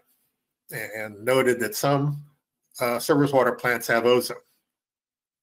So this is just my opinion. Theoretically, a surface water plant could demonstrate via the same indicators. Now we don't know exactly uh, if this will work. So they would have to demonstrate it, but they could using the indicators as we mentioned before. Next slide, please. We also decided to include in subparagraph B an option based upon blending. And that's in response to comments we've received. So this blend option would need to be a significant amount. And so we believe that basically a significant means a blend of 10% water from the ROAOP with 90% of other water that is effectively treated. However, and we point out this is important, the process would have to be a continual blending process. This couldn't be just a seasonal blend. And the blend water would have to be an approved source. Next slide, please. So then the question becomes, well, what about if you can't meet that 10% blend continually? Could uh, it vary or could the DIPRA combine a portion treated with some side stream treated with ozone as a lower blend option? So we thought about this carefully and we've come up with an equation uh, that wouldn't wouldn't allow it above uh, 0.5, but if it's between 0.1 and 0.5 uh, of a uh, wastewater contribution, WCC, WWCC, WWC, boy, too many acronyms. Uh, if it follows this equation, then that could be appropriate. And I have to give credit to uh, Jing for this and also Bob Hultquist. So I did not derive this. And if you have questions, I'll have them answer those. But it does work. We, we've tested it out. Next slide, please. So we had to add a definition for uh, wastewater contribution. That means the fraction equal to the quantity of municipal wastewater applied at a DPR project divided by the sum of the quantity of municipal wastewater and a dilution water to either an untreated source of drinking water upstream or of a water treatment plant previously approved or a finished drinking water previously approved by the state board. So this would typically be permitted sources by our field offices. Next slide, please. Now, of course, that criteria needs to define the test protocol approval. The test protocol for the ozone BAC mechanism must be submitted, reviewed, and approved by DDW. So at the minimum, it's going to have to spike formaldehyde and acetone. They also need to spike NDMA depending on uh, the occurrence in the secondary water. The proposed uh, ozone BAC process must be at the normal full-sized operating conditions. So a full-size treatment train of ozone BAC, that might be one or two or three MGD trains. Now I point out that this is the similar existing approach we've been doing since 2014 and even before 2014 when our rate came in, uh, was formally adopted. Been using uh, test protocols to uh, evaluate the advanced oxidation that they have to demonstrate the half log of 1,4-dioxane reduction. So it's nothing new uh, in this approach, just a different process. Next slide, please. So now I want to talk about, as the report said, we need to incorporate frequent monitoring of surrogate parameters at each step to ensure treatment processes are performing properly. Next slide, please. So our criteria includes a hazard analysis critical control point process in these subparagraphs. And I would refer you to read carefully through these. But basically in concept, it means continuous performance monitoring of at least one surrogate or operational parameter that indicates when the treatment is not performing as designed or integrity of the treatment equipment has been compromised. We already kind of do this with our IPR projects. Now, in the case of DPR, uh, a, a uh, such a basically operational parameter is the ratio of applied ozone to TOC, where you're constantly monitoring the TOC dosed and the TOC online, and that ratio is an operational parameter that can be monitored constantly. Also, there's online um, absorbance analyzers, frequently used. Online TOC, as has been mentioned earlier. And for the UV, uh, all the current advanced oxidation projects uh, either monitor calculated UV dose or energy in terms of what's called electrical energy delivered that has the units of kilowatt hours per thousand gallons. So depending on the manufacturer, they either use a calculated UV dose or a calculated energy EED, which is power per flow. And of course, the dose takes into account intensity, power, and flow. And those are all really uh, standard for UV and are very reliable instruments. And uh, of course, as I said, they need to demonstrate the treatment under normal full-scale operating conditions. Next slide, please. Oh, and I would mention that uh, we typically go out to inspect these plants uh, before we give final okay for them to discharge to the uh, IPR project uh, by going through looking at these instruments and their alarms. So we make sure that they're working. Now, um, addressing chemical peaks. The chemicals that may pass through the advanced treatment are low molecular weight and resistant to oxidation. So we have three components in our criteria. As I mentioned, the ozone BAC, another mechanism. Second, if you note that we have a requirement for continuous longitudinal mixing of the flow sufficient to attenuate a one hour elevated concentration of a contaminant by a factor of 10. Now, note that this mixing uh, can be counted in between where it occurs at the wastewater plant inlet chamber and the DPR project finished water compliance point could be used to meet this requirement. This is a mixing requirement. And lastly, I want to point you to online TOC analyzers, which again has been recommended by DPR4 and we're using to quite uh, a good tool for our reg. So the combined uh, RO permeate TOC, we have limits for that. So we consider a level over 0.25 a point where you want to investigate the peak and possibly investigate the source control program.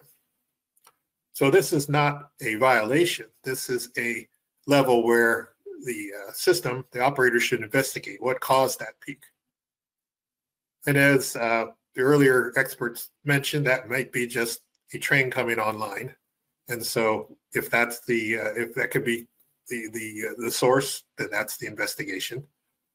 But you might want to look at the source control program. Did something happen? And uh, you go to your enhanced source control joint plan partners and find out, did they see something in the early warning system?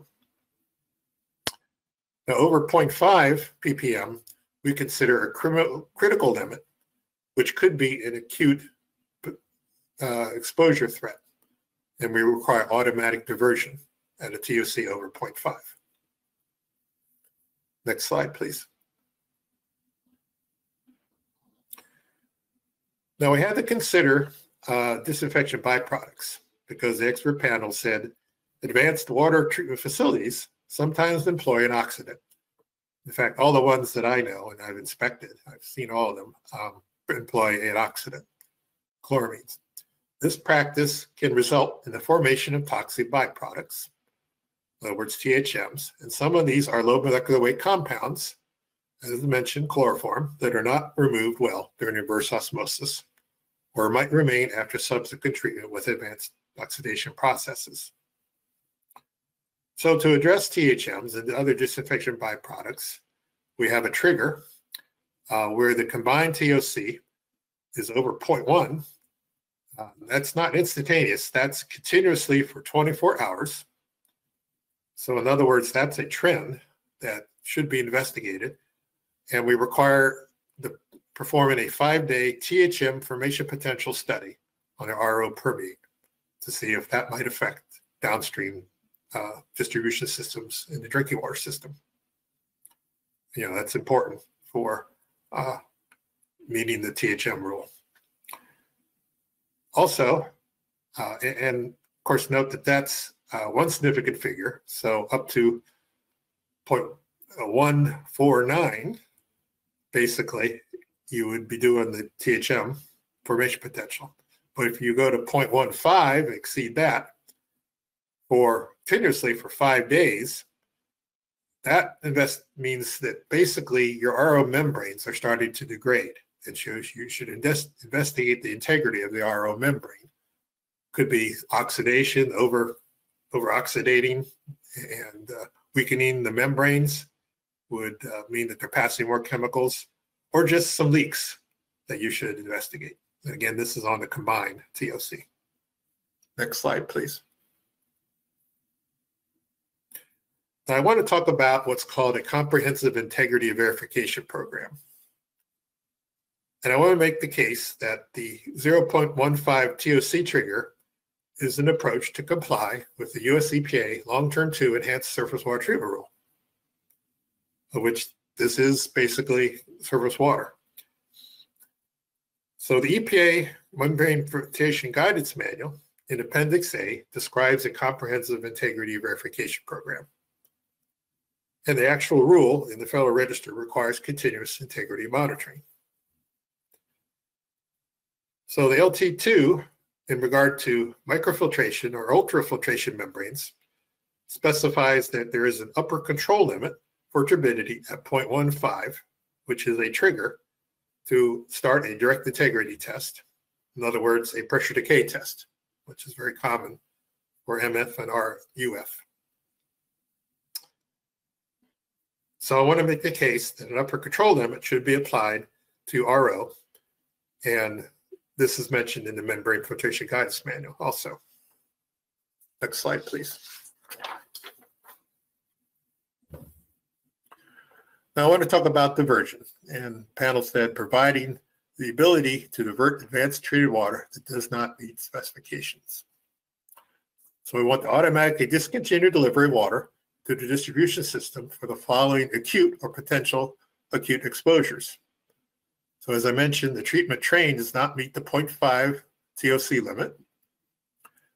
Online monitoring of nitrate exceeds the nitrate MCL. And if installed, online monitoring of uh, perchlorate or lead. I understand there are now online monitoring of perchlorate instruments, and in the future maybe lead. And of course, these are acute chemicals, especially lead that we don't want uh, affecting public health. Now, my last three slides, next slide, please, is going to talk about supporting material, which is includes technical, managerial, and financial capacity. The engineer report must specify the cost of specific elements. That includes facilities, staffing, and support services. The ongoing costs must be determined for operation and maintenance costs, the 20-year life cycle cost of equipment, capital replacement costs, energy costs, and personnel costs and other elements. Next slide, please. So we're focusing on financial capacity. So reliable and continual funding sources must be identified for necessary costs. And the funding should include budget set-asides for maintenance and capital replacement. So examples include UV lamp replacement. So typically, depending on UV manufacturer, the bulbs are good for 10,000 to 15,000 hours, which is about a year, give or take the actual use, and depending on manufacturer. I recently was inspecting a, a large tertiary plant that is a 60 MGD capacity, and they said that they budget a million dollars per year for replacing the bulbs. Of course, that depends on the manufacturer and the plant size. Now, replacement of membranes is not as frequent, but it could be somewhere between five to 10 years. Uh, you have to replace all the RO and micro filters or ultra filters. So that could cost much more than a million dollars, maybe even 10 million, depending on the size. Next slide, please. Now I want to talk about operators and operator certification, and that was a real concern of the 2016 panel. So our regs require the borough shall designate at least one chief operator, at least one shift operator for each operating shift that possess valid Cal Nevada section of AWWA uh, and slash California Water Environment Association Advanced Water Treatment Operator or AWTO grade AWT five certificate. Next slide, please. Operations plan says prior to operation of a DPR project, a DiPRRA shall at minimum demonstrate to the state board the personnel operating and overseeing the operations have received the training in the following. First, op- proper operation of advanced processes. Second, a knowledge of our Safe Drinking Water Act and its regulations. Uh, and that's why we had Kurt Souza go over that. Includes all knowledge of all our regulations for drinking water. Third, the potential adverse health effects with the consumption of drinking water that does not meet our drinking water standards, MCLs, NLs, and other standards. And fourthly, the implementation of an advanced source control program. Next slide, please. Plan must address the certification, appropriate type and level of certification for each element or each treatment facility. That includes a plan that describes the staffing level of each plant associated with the DPR. So the AWTO is the minimum expectation. That's because existing state-run wastewater or drinking water certification programs that are run by our state programs do not generally cover advanced treatment processes such as membranes, UV or ozone, or even GAC for that matter. Next slide, please. So this is a picture of a diverse group that worked for many years on the AWTO certification program. This included experts from utilities like East Bay MUDS and U County Water Authority, Encina Wastewater Agency. That's where Kevin formerly worked. Shout out to you, Kevin. Southwest Membrane Operator Association, Padre Dam, which is going to have a surface water augmentation project, San Diego, also a surface water under construction project, City of LA, San Francisco, LA County Sand District, Valley Water District, Santa Barbara, and Long Beach. Also, our representatives from DW, which is myself, you can see I'm in that picture, and also our Division of financial assistance that run our operator certification programs. And this was a unique collaboration between CWEA and Cal Nevada AWWA because it crosses over between the two agencies. And I was really happy that everybody worked together to come up with a good program. Next slide, please. I would point you to this website, awtoperator.org. So the capability operator is assured by this program. As they say on their site, drinking water treatment, wastewater treatment, or water use operators working at facilities using advanced treatment should be interested in earning the new voluntary operator program. AWT operators protect public health by ensuring a supply of safe and high quality drinking water. Now, again, we've received some comments that this is a lot to expect. But I spoke to the run people that are running the program earlier this week, and 105 people have passed at least one exam in the state of California. So I think that's a pretty good pool of people. And uh, next slide, please. I think that's the question slide.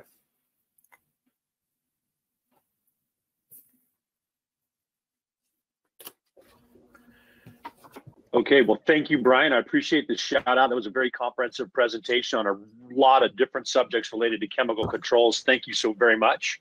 Uh, your timing was excellent. It's about 11:48, so we have uh, 12 minutes for questions, and I'm going to throw it to our intrepid co-chair, Mr. Jim Crook, uh, to facilitate the Q and A between now and our lunch break. Jim, take it away.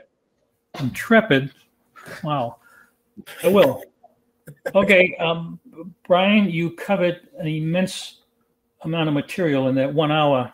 Uh, a lot of stuff. So there must be questions from the panel. We will entertain any panelist. Jim, can I ask Brian a question? sure. Uh, Brian, did the panels consider working with, let's say, selected industries to do either hauling, I mean, storage and hauling, or total relocation based on uh, the need? Because you're adding a small amount of compound to a very large volume of water.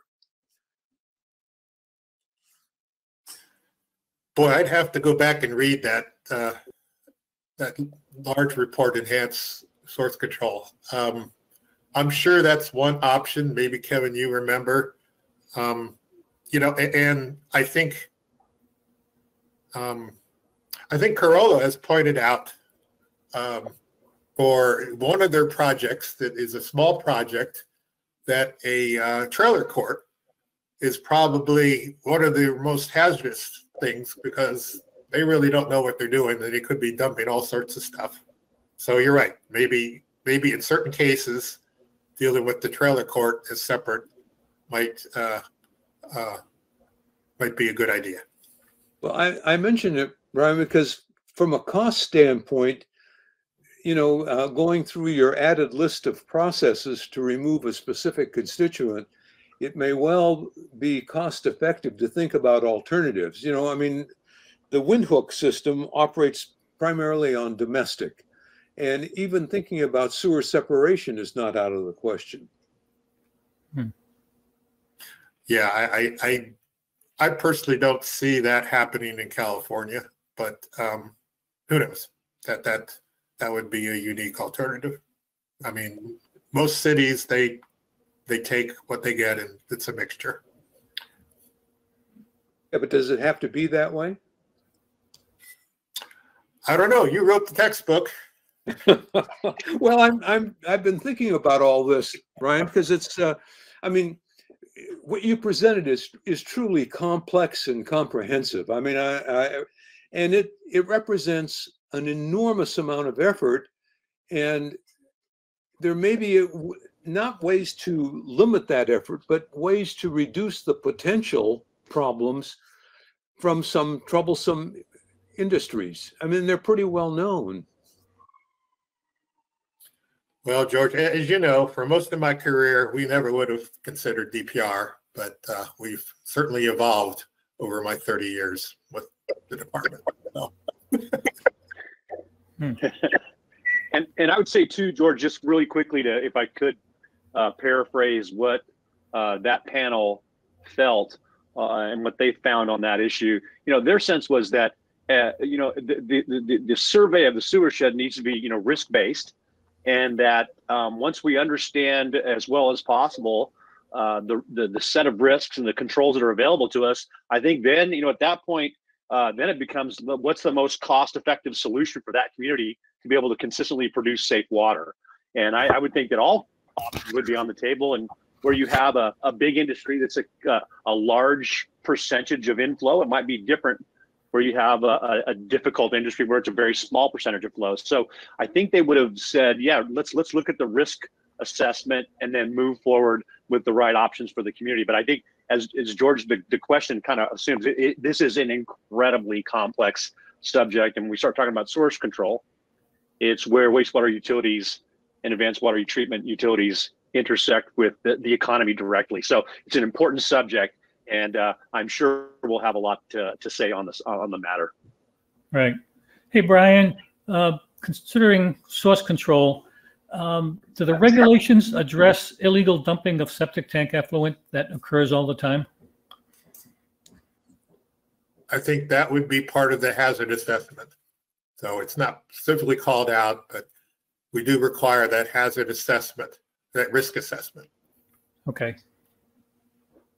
Yeah, and often, uh, Chair Crook, that would be part of the local communities uh, sewer ordinance. Those uh, those specific kind of penalties for for that kind of behavior. Yeah. Uh, I, I know, but but we found instances of that down in Orange County years ago. Uh, where it was happening. So just checking. And it really Kevin? does happen. It is a really, you know, that's a great point. It is a real issue, uh, this hazardous dumping. Kevin, was was thought given to, for example, if if you have an agency and they know that a discharger uh, is problematic, that uh, they could couple and provide local on-site treatment of that waste before discharge? That's a good question. I think I think the answer is yes. I, I think that, that all, all options should be on the table, right? In order to make, uh, you know, if it, it includes, you know, diverting it or, or, or no discharge or very limited. I, I think all those options should be on the table. And I think that was the kind of the, the, uh, I don't want to speak with the panel, but what, that was kind of the thrust of their comments is that as long as it's risk based, you know, the, the, the, the truth of the matter is the, the national pretreatment program provides a lot of flexibility for utilities uh, to uh, take action to preserve water quality in order to recycle water. And uh, the, I think the truth of it is, is, is that um, it just hasn't been as well invested in a, a, a part of the uh, wastewater management enterprise. And I think what they're, you know, we're trying to, what the panel was trying to do was create that incentive for investment in this management barrier. So yeah, anything that makes sense within that kind of that that framework, I think is consistent with what the panel is doing. As I listen to all this, it seems that, you know, there's an enormous amount of energy put into dealing with a problem that, I, that might be dealt with otherwise. That's that's what my concern is. I mean, you've got sensors, you've got online monitoring, you've got hundreds Right. of things. It may simply just be cheaper. I we just haven't done this in the past. I mean, you know, we we've just said that people can uh, implement processes or businesses wherever they want, but it was never done from the standpoint of direct potable reuse. Right. So it just seems to me that that a lot of rethinking needs to be done, uh, as opposed to just more instrumentation, more analyses. Not that those those have to be done. I agree, but it just seems to me that some other approaches have to be investigated. Right. Okay. Very good, George. Uh, Jorg has a, had, had, wanted to ask a question. Jorg? Yeah, thank you, Jim. Um, thanks again, Brian. Very comprehensive, very informative presentation. Thank you. Um, I have a couple of questions, but I want to limit it to the third chemical process. Um, Mhm. And I was also a little bit surprised about the specifics or level of specifics um, you you you you're trying to regulate, which uh, are comprising um, not just log removal standards or values, but also treatment processes as well as operational parameters for these processes.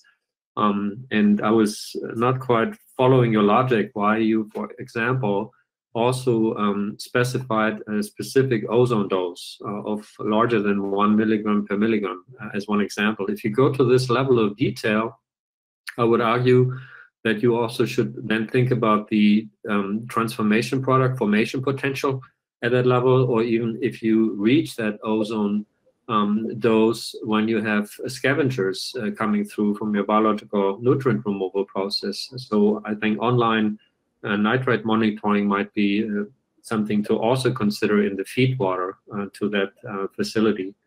Um, and the other element, what um, I noticed is that you, I think also based on what uh, Sean and Shane presented, um, you settled on this combination of ozone and BAC as, uh, as an additional treatment barrier with different removal principles. Um, but all I see in the regulation is specifying the empty bed contact time. You're not necessarily specifying how long this carbon is actually in operation, and what the, it will be a big difference whether you run 15,000 bed volume or 30,000 bed volume, after which the absorptive capacity is exhausted. So um, maintaining this absorptive function uh, is not necessarily guaranteed if that's not um, looked at. Uh, and just looking at empty bed contact time, I would argue this filter at some time will just become a biological active filter, but the adsorptive function uh, will be lost. So I'm just wondering about the level of detail you want to put uh, into the regulation. I could, as I indicated, think of several other elements that uh, could easily be added. And um, maybe this also relates to the question George put up. Um, how much detail uh, should really be in the regulation? Well, I would try to answer that um, in that I believe the mechanism we're really trying to focus on is not absorption. The over time and you know based upon the studies being done a month or two months the absorptive capacity of the activated carbon goes away and becomes truly a uh, biodegradation process. And my understanding then is that you don't really replace the biologically active carbon. You, you might refill it as some of it, you know, breaks down, but you would continue in the biological mode. And that what we're really trying to do is not remove necessarily um, those that GAC would remove on its own. We're trying to get those things like formaldehyde and acetone and chemicals that they represent that uh, get through the full advanced treatment, the ozone, I mean, the RO and AOP. And so it's that biological degradation mechanism that we want it to be operating in. And I know a lot of the studies that have been done get very confusing because they're run and they're in a transition period where they're absorbing some stuff. Uh, but long term, they, they become biological and, and that, that uh, decay decreases. And so the removal of the perfluorinated compounds, for instance, in these studies, you will we will see different things quoted, but that's probably because as they start up, the, the, the it's mostly GAC, and so the perfluorinated compounds are being absorbed. But over time, that's not really the mechanism because we we want to rely on the RO for removal of the perfluorinated compounds. And we want it to become biological, so you're dealing with the aldehydes and ketones that are mentioned. So I think the the the length, my understanding, I could be wrong. Uh, if, if Shane wants to talk about that, but I don't think the the time is a component. I think the empty bed contact time. I mean, we're proposing 15 minutes, and if you can demonstrate good removal at less time, certainly that's an alternative that we allow in our regs. So, uh, uh, you know, I didn't speak a lot about alternatives, but we're trying to allow some innovation uh, of these processes. If I may break in, it's lunchtime. In the interest of keeping on schedule, um, we have a half hour lunch break according to my agenda, and we can continue with these, these kind of questions at that time. Is that correct, Kevin? Kevin's already gone to lunch. I'll be around all day. Okay. No, I just forgot to turn my microphone on. I apologize, but uh, yeah, we've uh, uh, yeah we've got uh, additional time left in uh, for uh, panel questions after the break. So yeah, if we go to lunch, I think coming back out of that, Chuck Haas will be first up and uh, then we'll continue on. Uh, uh, one thing that we want to make sure that we do is uh, just be aware is that let's let's get back right at 12:30 because we're going to have to cut just a couple minutes before one o'clock uh, to make sure that we've uh, kind of arranged ourselves for an efficient and full 30 minutes for the public comment period. So um, yeah, do come back at 12:30 and then we'll stop start public comments right at one. Um, and then after that, we can go into our closed session. So uh, enjoy your lunch. We'll be back here sharp at 1230. Thank you.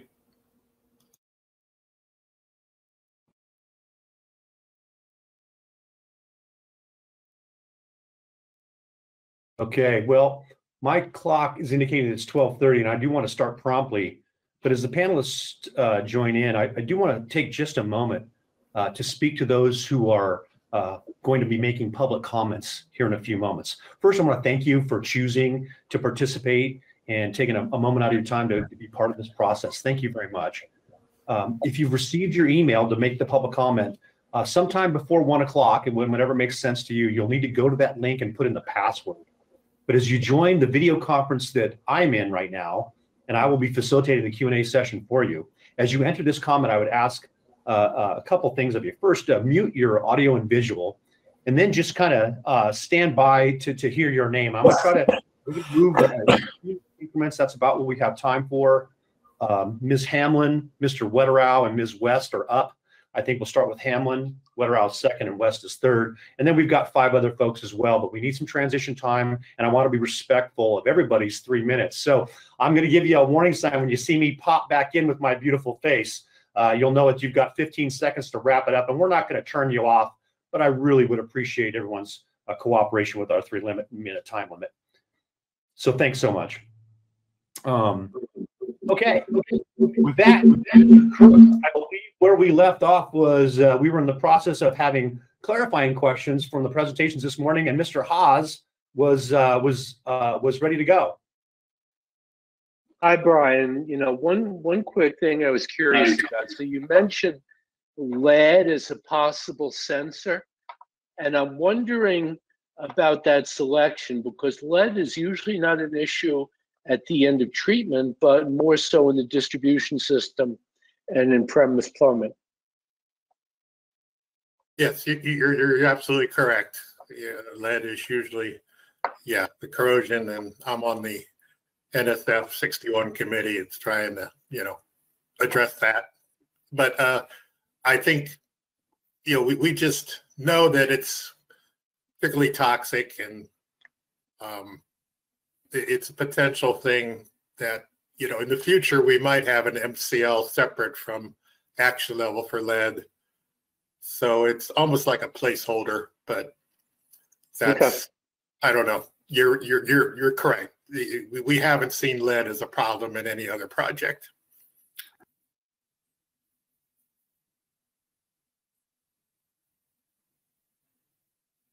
Uh, if no one else is up, uh, Brian, I had a, just a real quick question.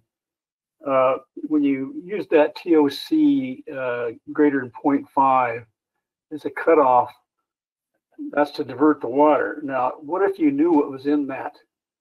If you say it was virtually hundred percent or some, some percentage of acetone, uh, as was experienced in, in, uh, uh, Orange County, you wouldn't necessarily have to uh, divert, or I mean, from a health reason anyway.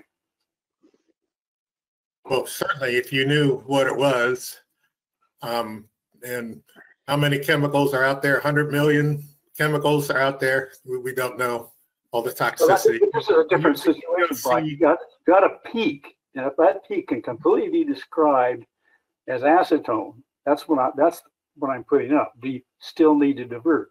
Because you wouldn't, uh, any health criteria for the acetone wouldn't demand it. Yes, but I, would argue that we would want to, we would want to find out, start, stop the process and find out what that peak was. And so if it was acetone, well, yeah, you start up right away. It all depends how quickly they can identify, but you know, we don't envision this as being the only source.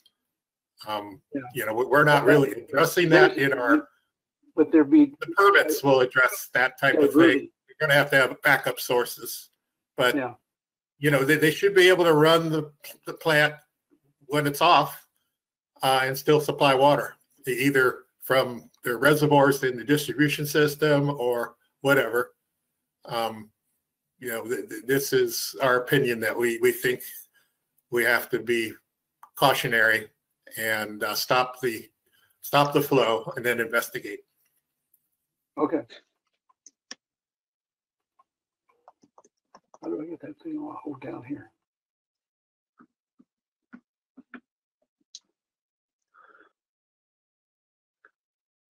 Chuck, did you have a question? Or I should say another question.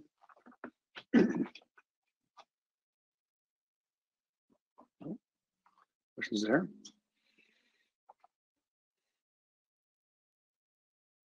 Mr. Chair? Adam? Any questions from you folks?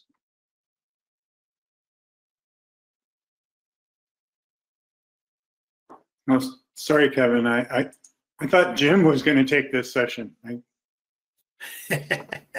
So where is he? Crook, are you there? I am here. Well, must take be- over. Kevin took over, so I thought he was in charge from now on. Well, I think, you know, I don't, I think we, uh, the only time we need somebody to make a decision is when we have a little extra time. And it appears at this point that we've, uh, that we may have exhausted the panel's questions, but I, but I do want to make sure that we take advantage of having this opportunity with, uh, not just Brian on the line, but, but with all the rest of the assembled, um, expertise here. Uh, I want to encourage the panelists, if you have any questions about what you've heard, uh, over the last couple of days, this would be a great time to think about, uh, get that question answered, uh, especially before we move into the, some of the public comments in our closed session this afternoon. If you got anything that's nagging you in terms of an understanding, this would be a, a great time to uh, to bring that up. And, and Jim and Adam, you may ident- have identified a few things in in your conversation as truths, but but uh, but I see I see uh, Jacqueline, I see you you, you may have worked. Uh, you may have a question. Yes. Um, Brian, I really enjoyed your presentation. It was very Thank you. thorough. Thank you. From a regular, uh, sure, from a regulatory standpoint, um, I didn't see enforcement information in this document. Is that something that the DDW staff will be working on, or will your legal counsel be working on that? Because in my experience, you know, you need to have a, a strong enforcement piece, particularly if you're going to go into a high-risk technology.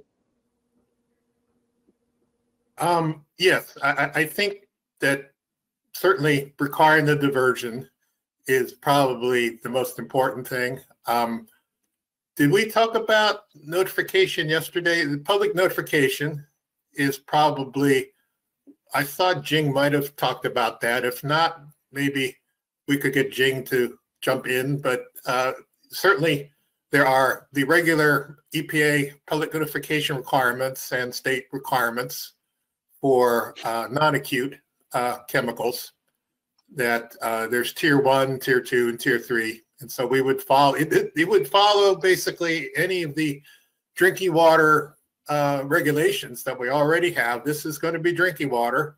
Uh, It's going to have a, a water supply permit issued by our field offices with assistance from our tech branch. And the permit will probably go into more detail as far as uh, what the actions would be. But we, we, we certainly, you know, maintain our ability to issue citations, to uh, issue compliance orders, to issue fines like we normally do.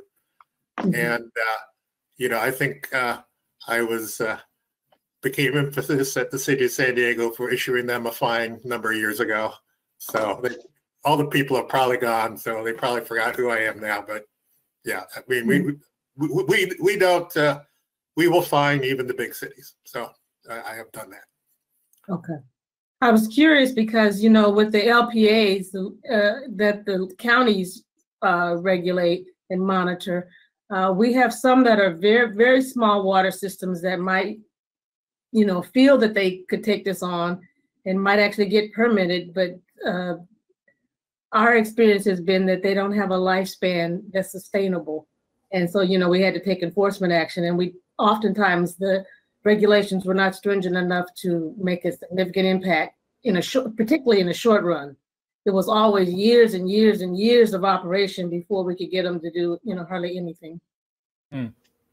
That's Yeah, kind of, that's a good point. Um, I think, you know, we, we used to be early in my career, we only had one attorney. It seems like now we have four. So that's good news. I, I, I'm, I'm really impressed. The water board has put in the resources to give us attorneys. And uh, we, we- we've actually won quite a few suits. We, we have, uh, we won the suit for ELAP just this week that was trying to question our ELAP regulation, and we won that lawsuit. And so, um, but anyway, I, I, I, I, as far as a small system, we, we don't necessarily limit the size, but we would be very careful about who we would allow. They, they would have to go above and beyond to prove they have the technical, managerial, and financial capacity, including they'd have to have, you know, probably one person devoted to source control all by themselves. So for a small system to do that, I mean, because that's what it takes. And and if you talk to the experts, they will tell you that, you know, going to enhance source water control. I was just on a call with Carollo and an existing project that they're looking at source control more and more. You have to staff up just for source control. So and, and above all the other stuff, and they'd have to have uh, a uh, AWTO five. So for a LPA to get the AWTO five, um, although you know I have to say there was one small system, great in community service that had a a T5 and a pasteurization system. So you never know. They they had the ability to operate that pasteurization system. They're the only ones I know that are doing that. But uh, so it, it, it depends on just how good they are. but thanks for that comment. That, that's very well. Uh, we certainly want to keep an eye on that. I think, uh, Mr. Chair, I understand that Shane Snyder has a question as well. Shane? I'll take my shot here. Thank, thank you. Brian, it was a, a really great presentation. I enjoyed reading through the, the draft regs as well. And I, I'm not sure if this is really the time to dive into it, but I'm very curious uh, to follow up on something that Jorg asked, and that was the decision around this uh, one-to-one TOC ratio, endorsing that into wastewater. Having worked on that in the past, and actually here I'm in Singapore, we are still looking into ozone in different aspects. That is that's a pretty tricky one to accomplish. I mean, you really need to think about the Snyder has a question from Shane. coming in. So anyway, I was just curious again to, to clarify, are you are you looking at this one to one TOC ratio for disinfection or contaminants or what's really the goal? Because I don't think you mentioned um, crypto. I don't see that the crypto is going to be an issue with RO and UV following. So I just wanted more clarification on how that one to one came. Well, it, it's primarily for the chemicals, and so it, it, this this is primarily a chemical mechanism. But as you know, one of the happy coincidences is that when we required advanced oxidation, you know, in 2014, you have such a high UV dose that you get six log kill of everything. I mean, with just absolutely many times more. So, so, so that the chemical helps with the pathogen. And I just kind of related that to say that, you know, that, that remember you have to have a fourth, fourth process besides RO, MF, and uh, AOP. Those would be the three that are in the IPR regs that give you one log crypto. Chlorine can't. Um, so you you would need some sort of ozone uh, to get that fourth barrier. But so that's that's just a coincidence.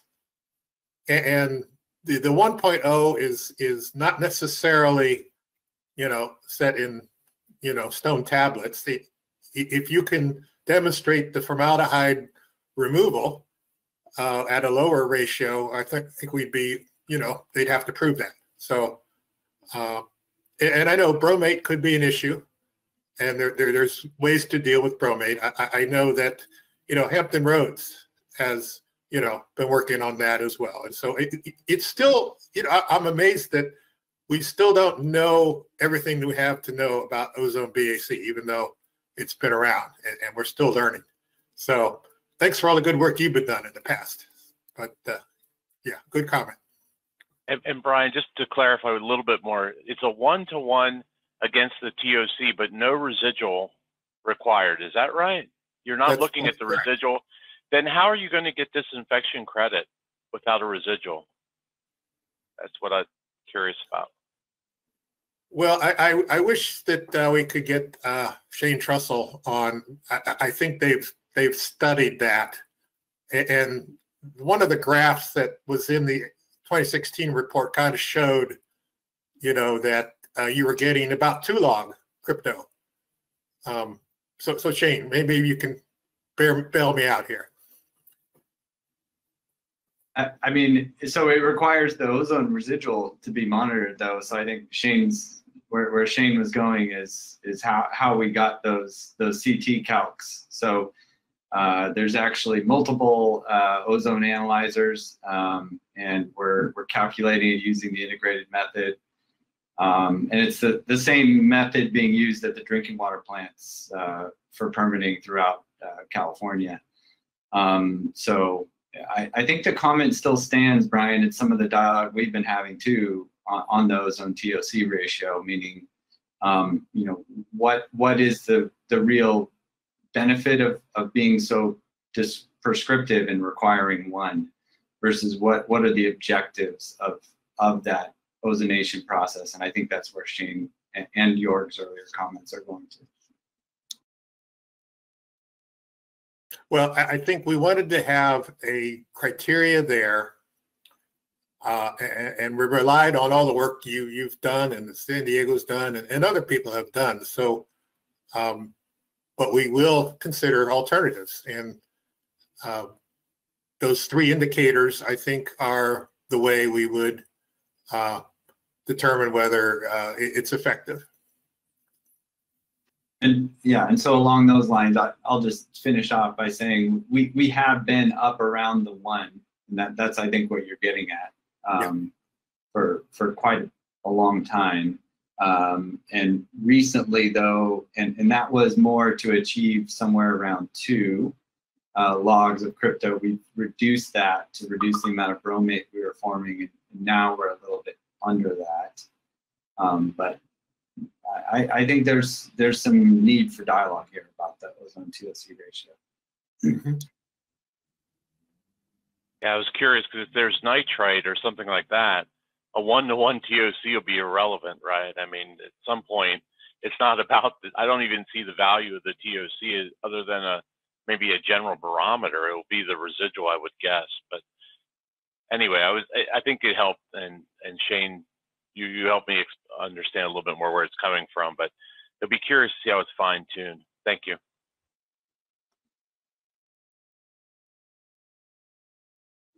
Maybe just a quick follow-up, Brian. Um, Sure. uh, I still hear that we're mixing up objectives. So uh, I think your argument is that you want a third um, treatment barrier against these peaks, but the argument is all about crypto pathogens. Um, the the study you cited uh, in your presentation actually, um, the highest or the average was actually 0.87, and um, this was an average across different studies where they also had treatment objective to remove pathogens, or inactivate pathogens. So if you just look at chemicals, you only need 0.3 to 0.6 uh, to have uh, 80% removal, for instance, or whatever the target might be. Um, so I don't, I don't quite see the logic that you round it up and you argue now on pathogens rather than the chemicals. Well, I, I am uh, mixing my metaphors, I suppose, but I, I, I, I, want to just point out that there's several benefits to having the 1.0. Um, I think the point I want to emphasize is we we have the ability for projects to propose something less, as long as they can use the indicators, demonstrate the 90% removal of those three indicators. So I think that would be uh, the approach um, that each project could do. So to play devil's advocate, in the world we're living in today with climate change and uh, carbon neutrality everyone is after, um, it might also be worth looking where we can actually save energy, where it is not necessarily needed. And this would definitely be a point where you waste a lot of energy if you go beyond 1.0, my, in my opinion. Point noted. Brian, one more quick question. Is the ozone BAC one unit process or two? Is the BAC counted as a separate unit process? Uh, You know, you said there's four processes required, but is ozone BAC one or two? We're thinking of it as a single process, the combination of the ozone uh, creating um, the biologically activated media. So it, it you know, it, it, otherwise it would be a GAC process. Okay, thank you.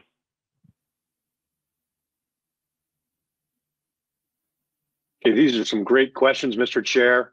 Um, panelists, other questions? We still have uh, almost 10 minutes. So uh, any other questions for Brian? Or it sounds like we've got, um, uh, looks like we've got Brian, Shane, uh, John. So, so each of the presenters you've heard from over the last couple of days is here. So I think uh, in the interest of, of wanting to make sure that you feel like you've had a chance to answer any questions, I'll, I'll ask again if there's any members of the panel that have a question. And, and, and if not, Mr. Chair, I'll ask your pleasure uh, what we should do now. We, we, we definitely have a, uh, we want to start right at one o'clock on our public comments. and we've got 30 minutes for those comments. We have eight public speakers, and we're going to limit the comments to three minutes each because we believe that by the time we get through the interface with each of the eight speakers, we will have uh, a lot of used up the entire 30 uh, minutes. So um, we've got some we've got some uh, work to do to facilitate those comments. And I would say, Mr. Uh, Chair, you, you, may want to say a few words to the panel about uh, kind of the, the, issue we were talking about earlier with panel. You know, the, the response to these kind of public comments. I think uh, what we had talked about as a group that you know these comments are are, are here an opportunity for these folks to to speak directly with DDW. Uh, as a panel member, it's a wonderful uh, point of information, a data point to consider in, in all your deliberations. But there's no expectation or need today to feel like we've got to respond to these comments specifically. Uh, they have uh, importance uh, in, in, as much as their context is given, and uh, we want to consider all the the, the ideas that the community of interested stakeholders want to bring forward. So we'll do that today uh, but we're not going to respond to them uh, directly in any way. And in fact, when we get done with the uh, the, uh, the, the the public comment session, we're going to transition directly into closed session, which is going to require that we log off this uh, this meeting and move uh, to a, a, whole separate meeting space. So we'll cover that um, as we get to the end of the meeting. But I think. Um, Mr. Chair, yeah, like I said, we've got probably still seven minutes and we could take a break for a few minutes and just kind of tee up the public comments next or uh, anything else that you think might be useful at this time? Well, uh, we still have time for any additional comments from from anyone uh, on any of the subjects that we've heard either today or yesterday, just since we have some time. Um, and we can handle those. If not, we can take a break for another four or five minutes until we start the, the other session. Mike, do you have a question? Yeah, no, it's just a quick comment. I, I, would like to really compliment the presenters today. Brian, Shane, and Jean did a wonderful job of laying out what can be a pretty complex set of issues. It was it was very nice. It's very much appreciated. Thank you. Thank you, Mike.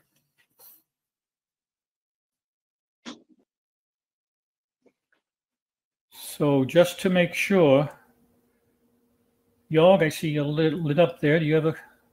Yeah, actually, since we still have um, Sean and uh, Shane around, um, and um, Brian gave this really very detailed insight on how important the TOC monitoring at the tail end of the treatment plan is.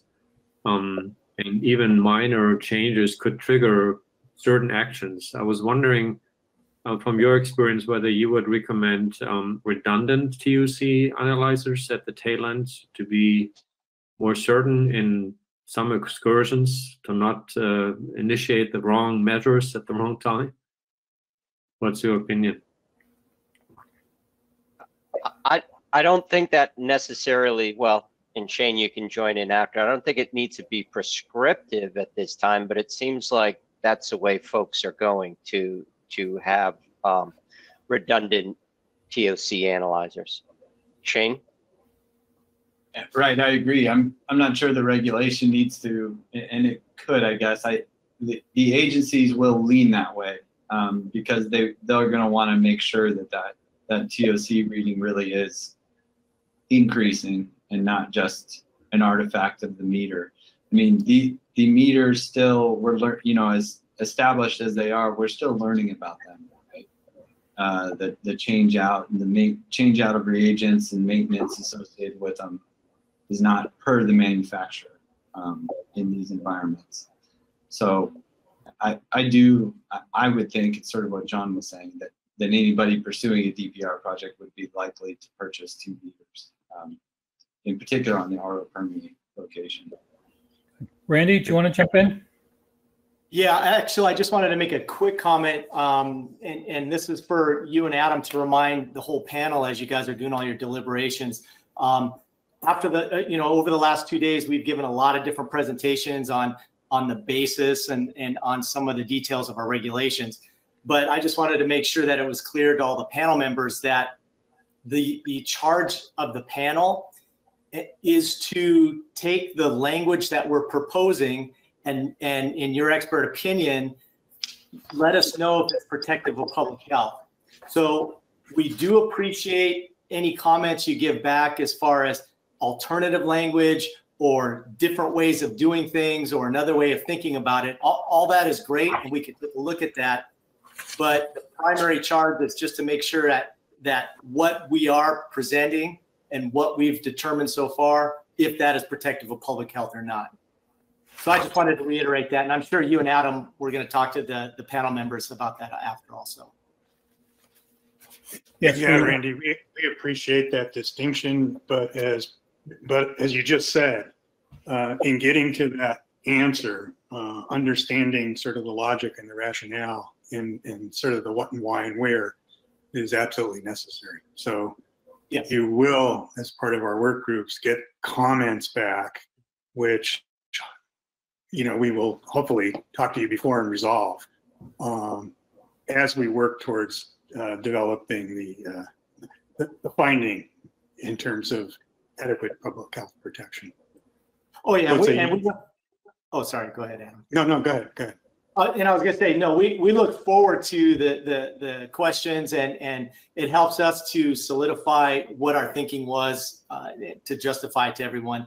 Uh, I just wanted to make sure we didn't go off on a rabbit hole or, you know, down another trail as far as, hey, why don't we tweak this or fix that? Because it is a very tight timeline that we're on, so.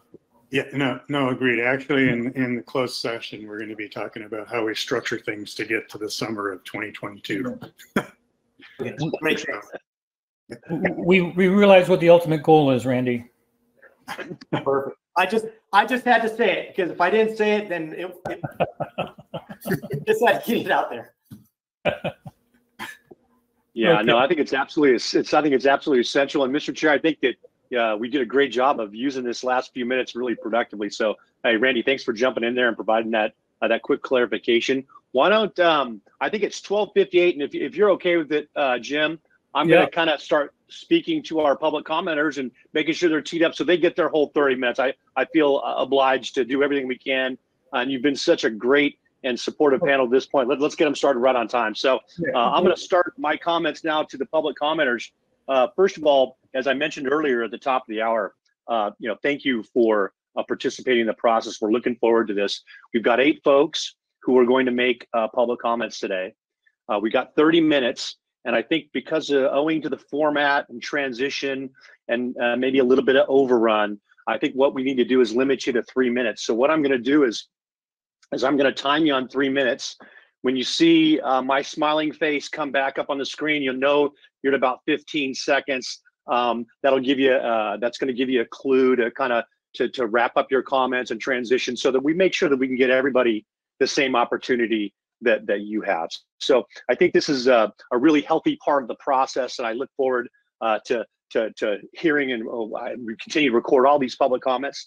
Um, again, as I mentioned earlier, the panel is not going to respond today. And, uh, and uh, what we will do though is take uh, all these concepts uh, under consideration. I think the panel is looking forward uh, to these comments as much as the NWRI staff is. So uh, with that, our first public commenter is Cheryl Hamlin. Now, Cheryl represents herself. And uh, so Cheryl, if you can activate your camera and your microphone. Okay, there we go. There we go. we can now see you. Oh, I wonderful. appreciate your- I appreciate your patience and, and uh, we're going to start you as quickly or uh, close to one o'clock as possible. So uh, please start your comments. Thank you. Well, thank you so much. It was a marvelous meeting. It's, it was just overwhelming the depth of the research. I did submit a written uh, page, which I hope you can distribute. It's too long to uh, write about, talk about, but I, you did cover many of the things, but several of the, the items that were not covered here have to do with human pathogens. For example, antibiotic resistance, and um, that's been documented as appearing in wastewater. Also, you know that the state of California is about to allow human composting, so you're going to get more antibiotic resistance that way. Um, I would also like to mention prions. Um, those have been detected in wastewater, and you didn't mention those. You did mention COVID, which was good, and I love your new tool. I think that was good thinking to have that tool to analyze the water. Um, and then finally, um, one thing that concerns me, and that's the statistics. Uh, you talk about infections per year, but frankly, there's nothing about deaths as a result of these infections. So, is there any way to translate these uh, infections into deaths? Um, and I would say I would yield the rest of my time and uh, hopefully you can read my document that I submitted. Cheryl, thank you very much. I think as I mentioned earlier, Greg Wetterau is up next. Uh, behind Greg will be, and we'll hear from Jennifer West. And, and then after Jennifer, it's Craig Lichty from Black and Veatch. So, um, Greg, are you on the call? Greg Wetterau. Maybe, maybe getting some extra time here. Greg, are you on the call? Okay, we're going to move uh, Greg now. Greg, I'll, I'll keep you on the list, uh, but we'll move you to the bottom. Um, and that's why I wanted to make sure that uh, we had somebody kind of teed up. Uh, Jennifer, you would be next on the list. So Jennifer West, representing Water Reuse California, and behind her is Craig Lichty. Uh, Jennifer, can you turn on your camera? I'm trying to turn on my camera. Um, maybe it's best that it's not working. Let's just move on here. Let's move on. okay. So my, my comments will be short. Um, so first I want to thank very much um, NWRI and DDW for putting on um, the expert panel. It's been a long time coming. It's extremely exciting to, to be here um, and to be participating in this. Um, I want to compliment you on your layout of your process. The meetings, it sounds like you have a number of really um, appropriate and productive work groups that are that are planned in the future. We appreciate the fact that you said yesterday that there'll be a report back to the public on what will happen during those work groups. We think that's really important. Um, we encourage you to keep up the public comment section of these um, of these meetings. Um, I would suggest that potentially having a public comment for each day would be better because then there's more um, opportunity for interaction with the public. One of our main comments um, and our issues was around um, the prescriptive nature that, that, Water Reuse California made and, and a number of other um, agencies made as well. The prescriptive nature of the ozone BAC requirement for the DPR regulations. It sounds like in the presentation, there's going to be some flexibility in this um, section that will help us respond to innovation, which will no doubt be coming um, we very much appreciate um, your listening to our comments in this regard, and we really look forward to working with you um, going forward on this, and we will be participating um, uh, throughout. So thank you.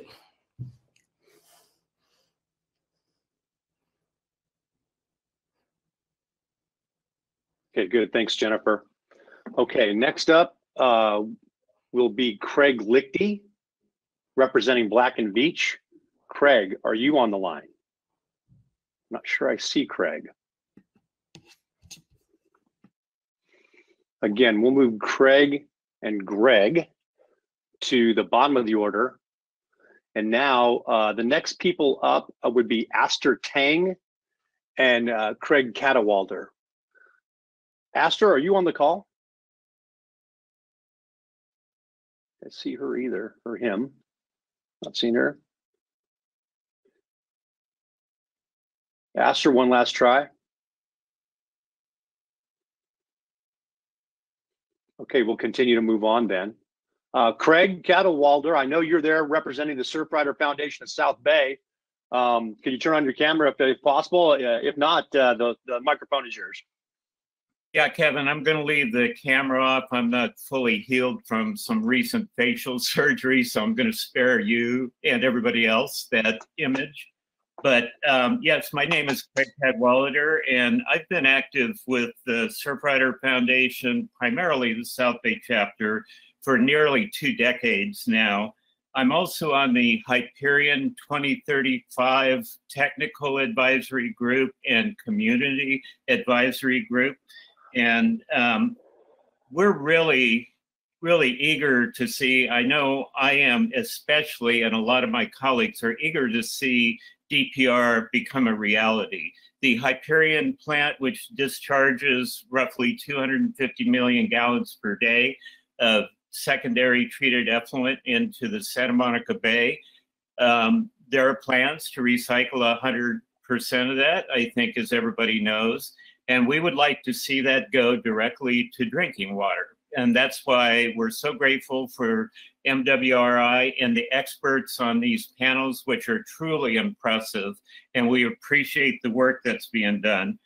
Given that Mr. Bernados uh, mentioned this earlier, but the recent spill of some untreated effluent into our um, output from the Hyperion plant because of the flood. Um, I'm wondering if sewer shed monitoring should be heightened in the uh, analysis of these projects. Um, I did go on a tour through the plant. I've been in touch with the plant manager and LA SAN and the different regulatory agencies. And this has impacted as well the Hyperion Municipal Water District's recycling facility, where they had to adjust their uh, output and blend with potable water because of issues from the flooding at Hyperion. So I'm wondering if that would be um, included in the analysis to make sure that sewer shed monitoring is there. Also, we would like to see a comparison against ordinary tap water. These standards are outstanding to protect public health, but it would be good to have a comparison to what actually comes out of the tap now.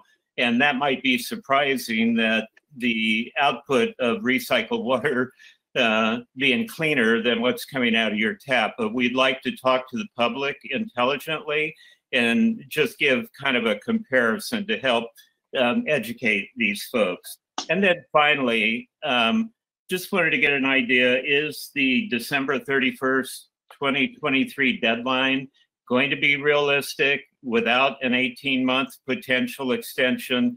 And given all the things on your plate, we're hoping that will come true and that influences other projects that are being considered and the sooner the better in our opinion but um, thank you for all the expert work and input uh, we really, really appreciate it.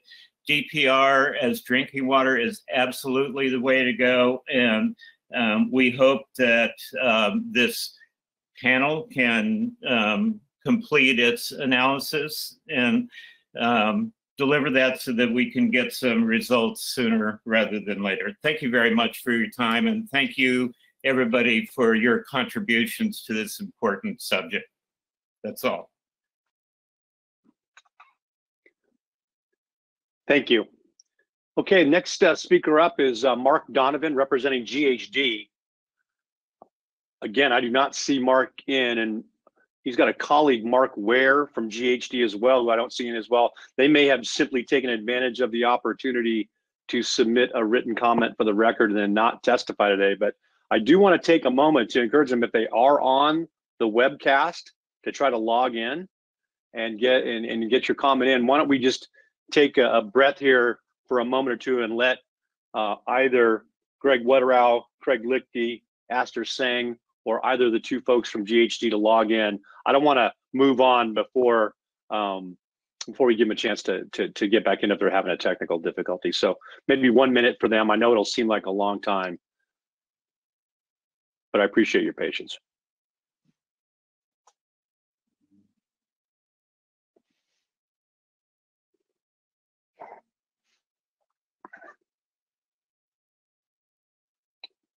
Well, I'm not sure we'll make it a whole minute. well, while we're waiting for them to jump in, Mr. Chairs, um, we obviously are a few minutes ahead of schedule. We got done with that that public comment period in 10 minutes, not 30. Um, before we move on, I would I think I'd like to ask um, what the next what the next uh, thing to do is. Should we go ahead and move into our closed session and take advantage of the extra time there, or are there any other um, clarifying or uh, other sorts of questions that either the panel has for DDW or DDW has for the panel uh, before we go into closed session? Mr. Chairs? Uh, I'm ready to, to move to closed session. We don't have any more public, uh, public speakers. I am too, unless DDW uh, has, has anything for the panel.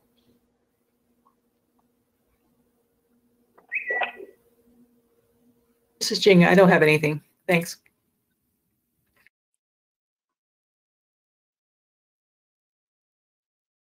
Excellent. I think we, yeah, I believe that we have discharged our duty. We've completed all of our uh, agenda items that uh, were set for day two. That means we've had two full days, uh, Mr. Chairs, and I'm looking forward to getting into this uh, to this working session. However, uh, in order to do that, uh, Suzanne has sent an email out with a separate link that'll make sure that we all can leave this conference area safely and then proceed into closed session and establish a secure connection there. So at this time, I'd like to uh, give anybody from the State Water Board a last opportunity to say uh, anything they like to say. Bob, you want to say something or you just want to say goodbye? No, absolutely. I want to say something. Uh, thank you to the expert panel for for the job you're doing and for the job you will do.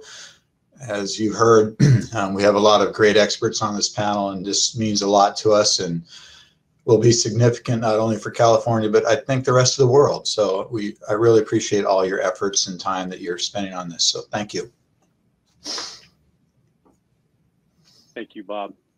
Okay, with that, um, I'm going to declare uh, this meeting closed. Uh, experts, if you would log off uh, as you can and then uh, follow the instructions in Suzanne's email uh, from about 12:53, and you'll be able to log into the new uh, the new conference center. Uh, in the meantime, I'll speak to the folks who are in the webcast. Thank you for for participating today. Uh, we look forward to our next panel meeting, which will be uh, widely uh, disseminated in terms of schedule. Uh, we'll try to do everything we can to make sure that uh, this process feels as open to you as we can, and we and we really appreciate your participation. As always, if you have any questions, comments, or concerns, you can contact us here at NWRI. Uh, but most importantly, thank you for uh, for, for taking part today, being a part of this process, and for helping us create new sources of healthy water for all Californians. Thank you. Take care, and we'll see you soon. Thanks, Thanks, Kevin. Kevin.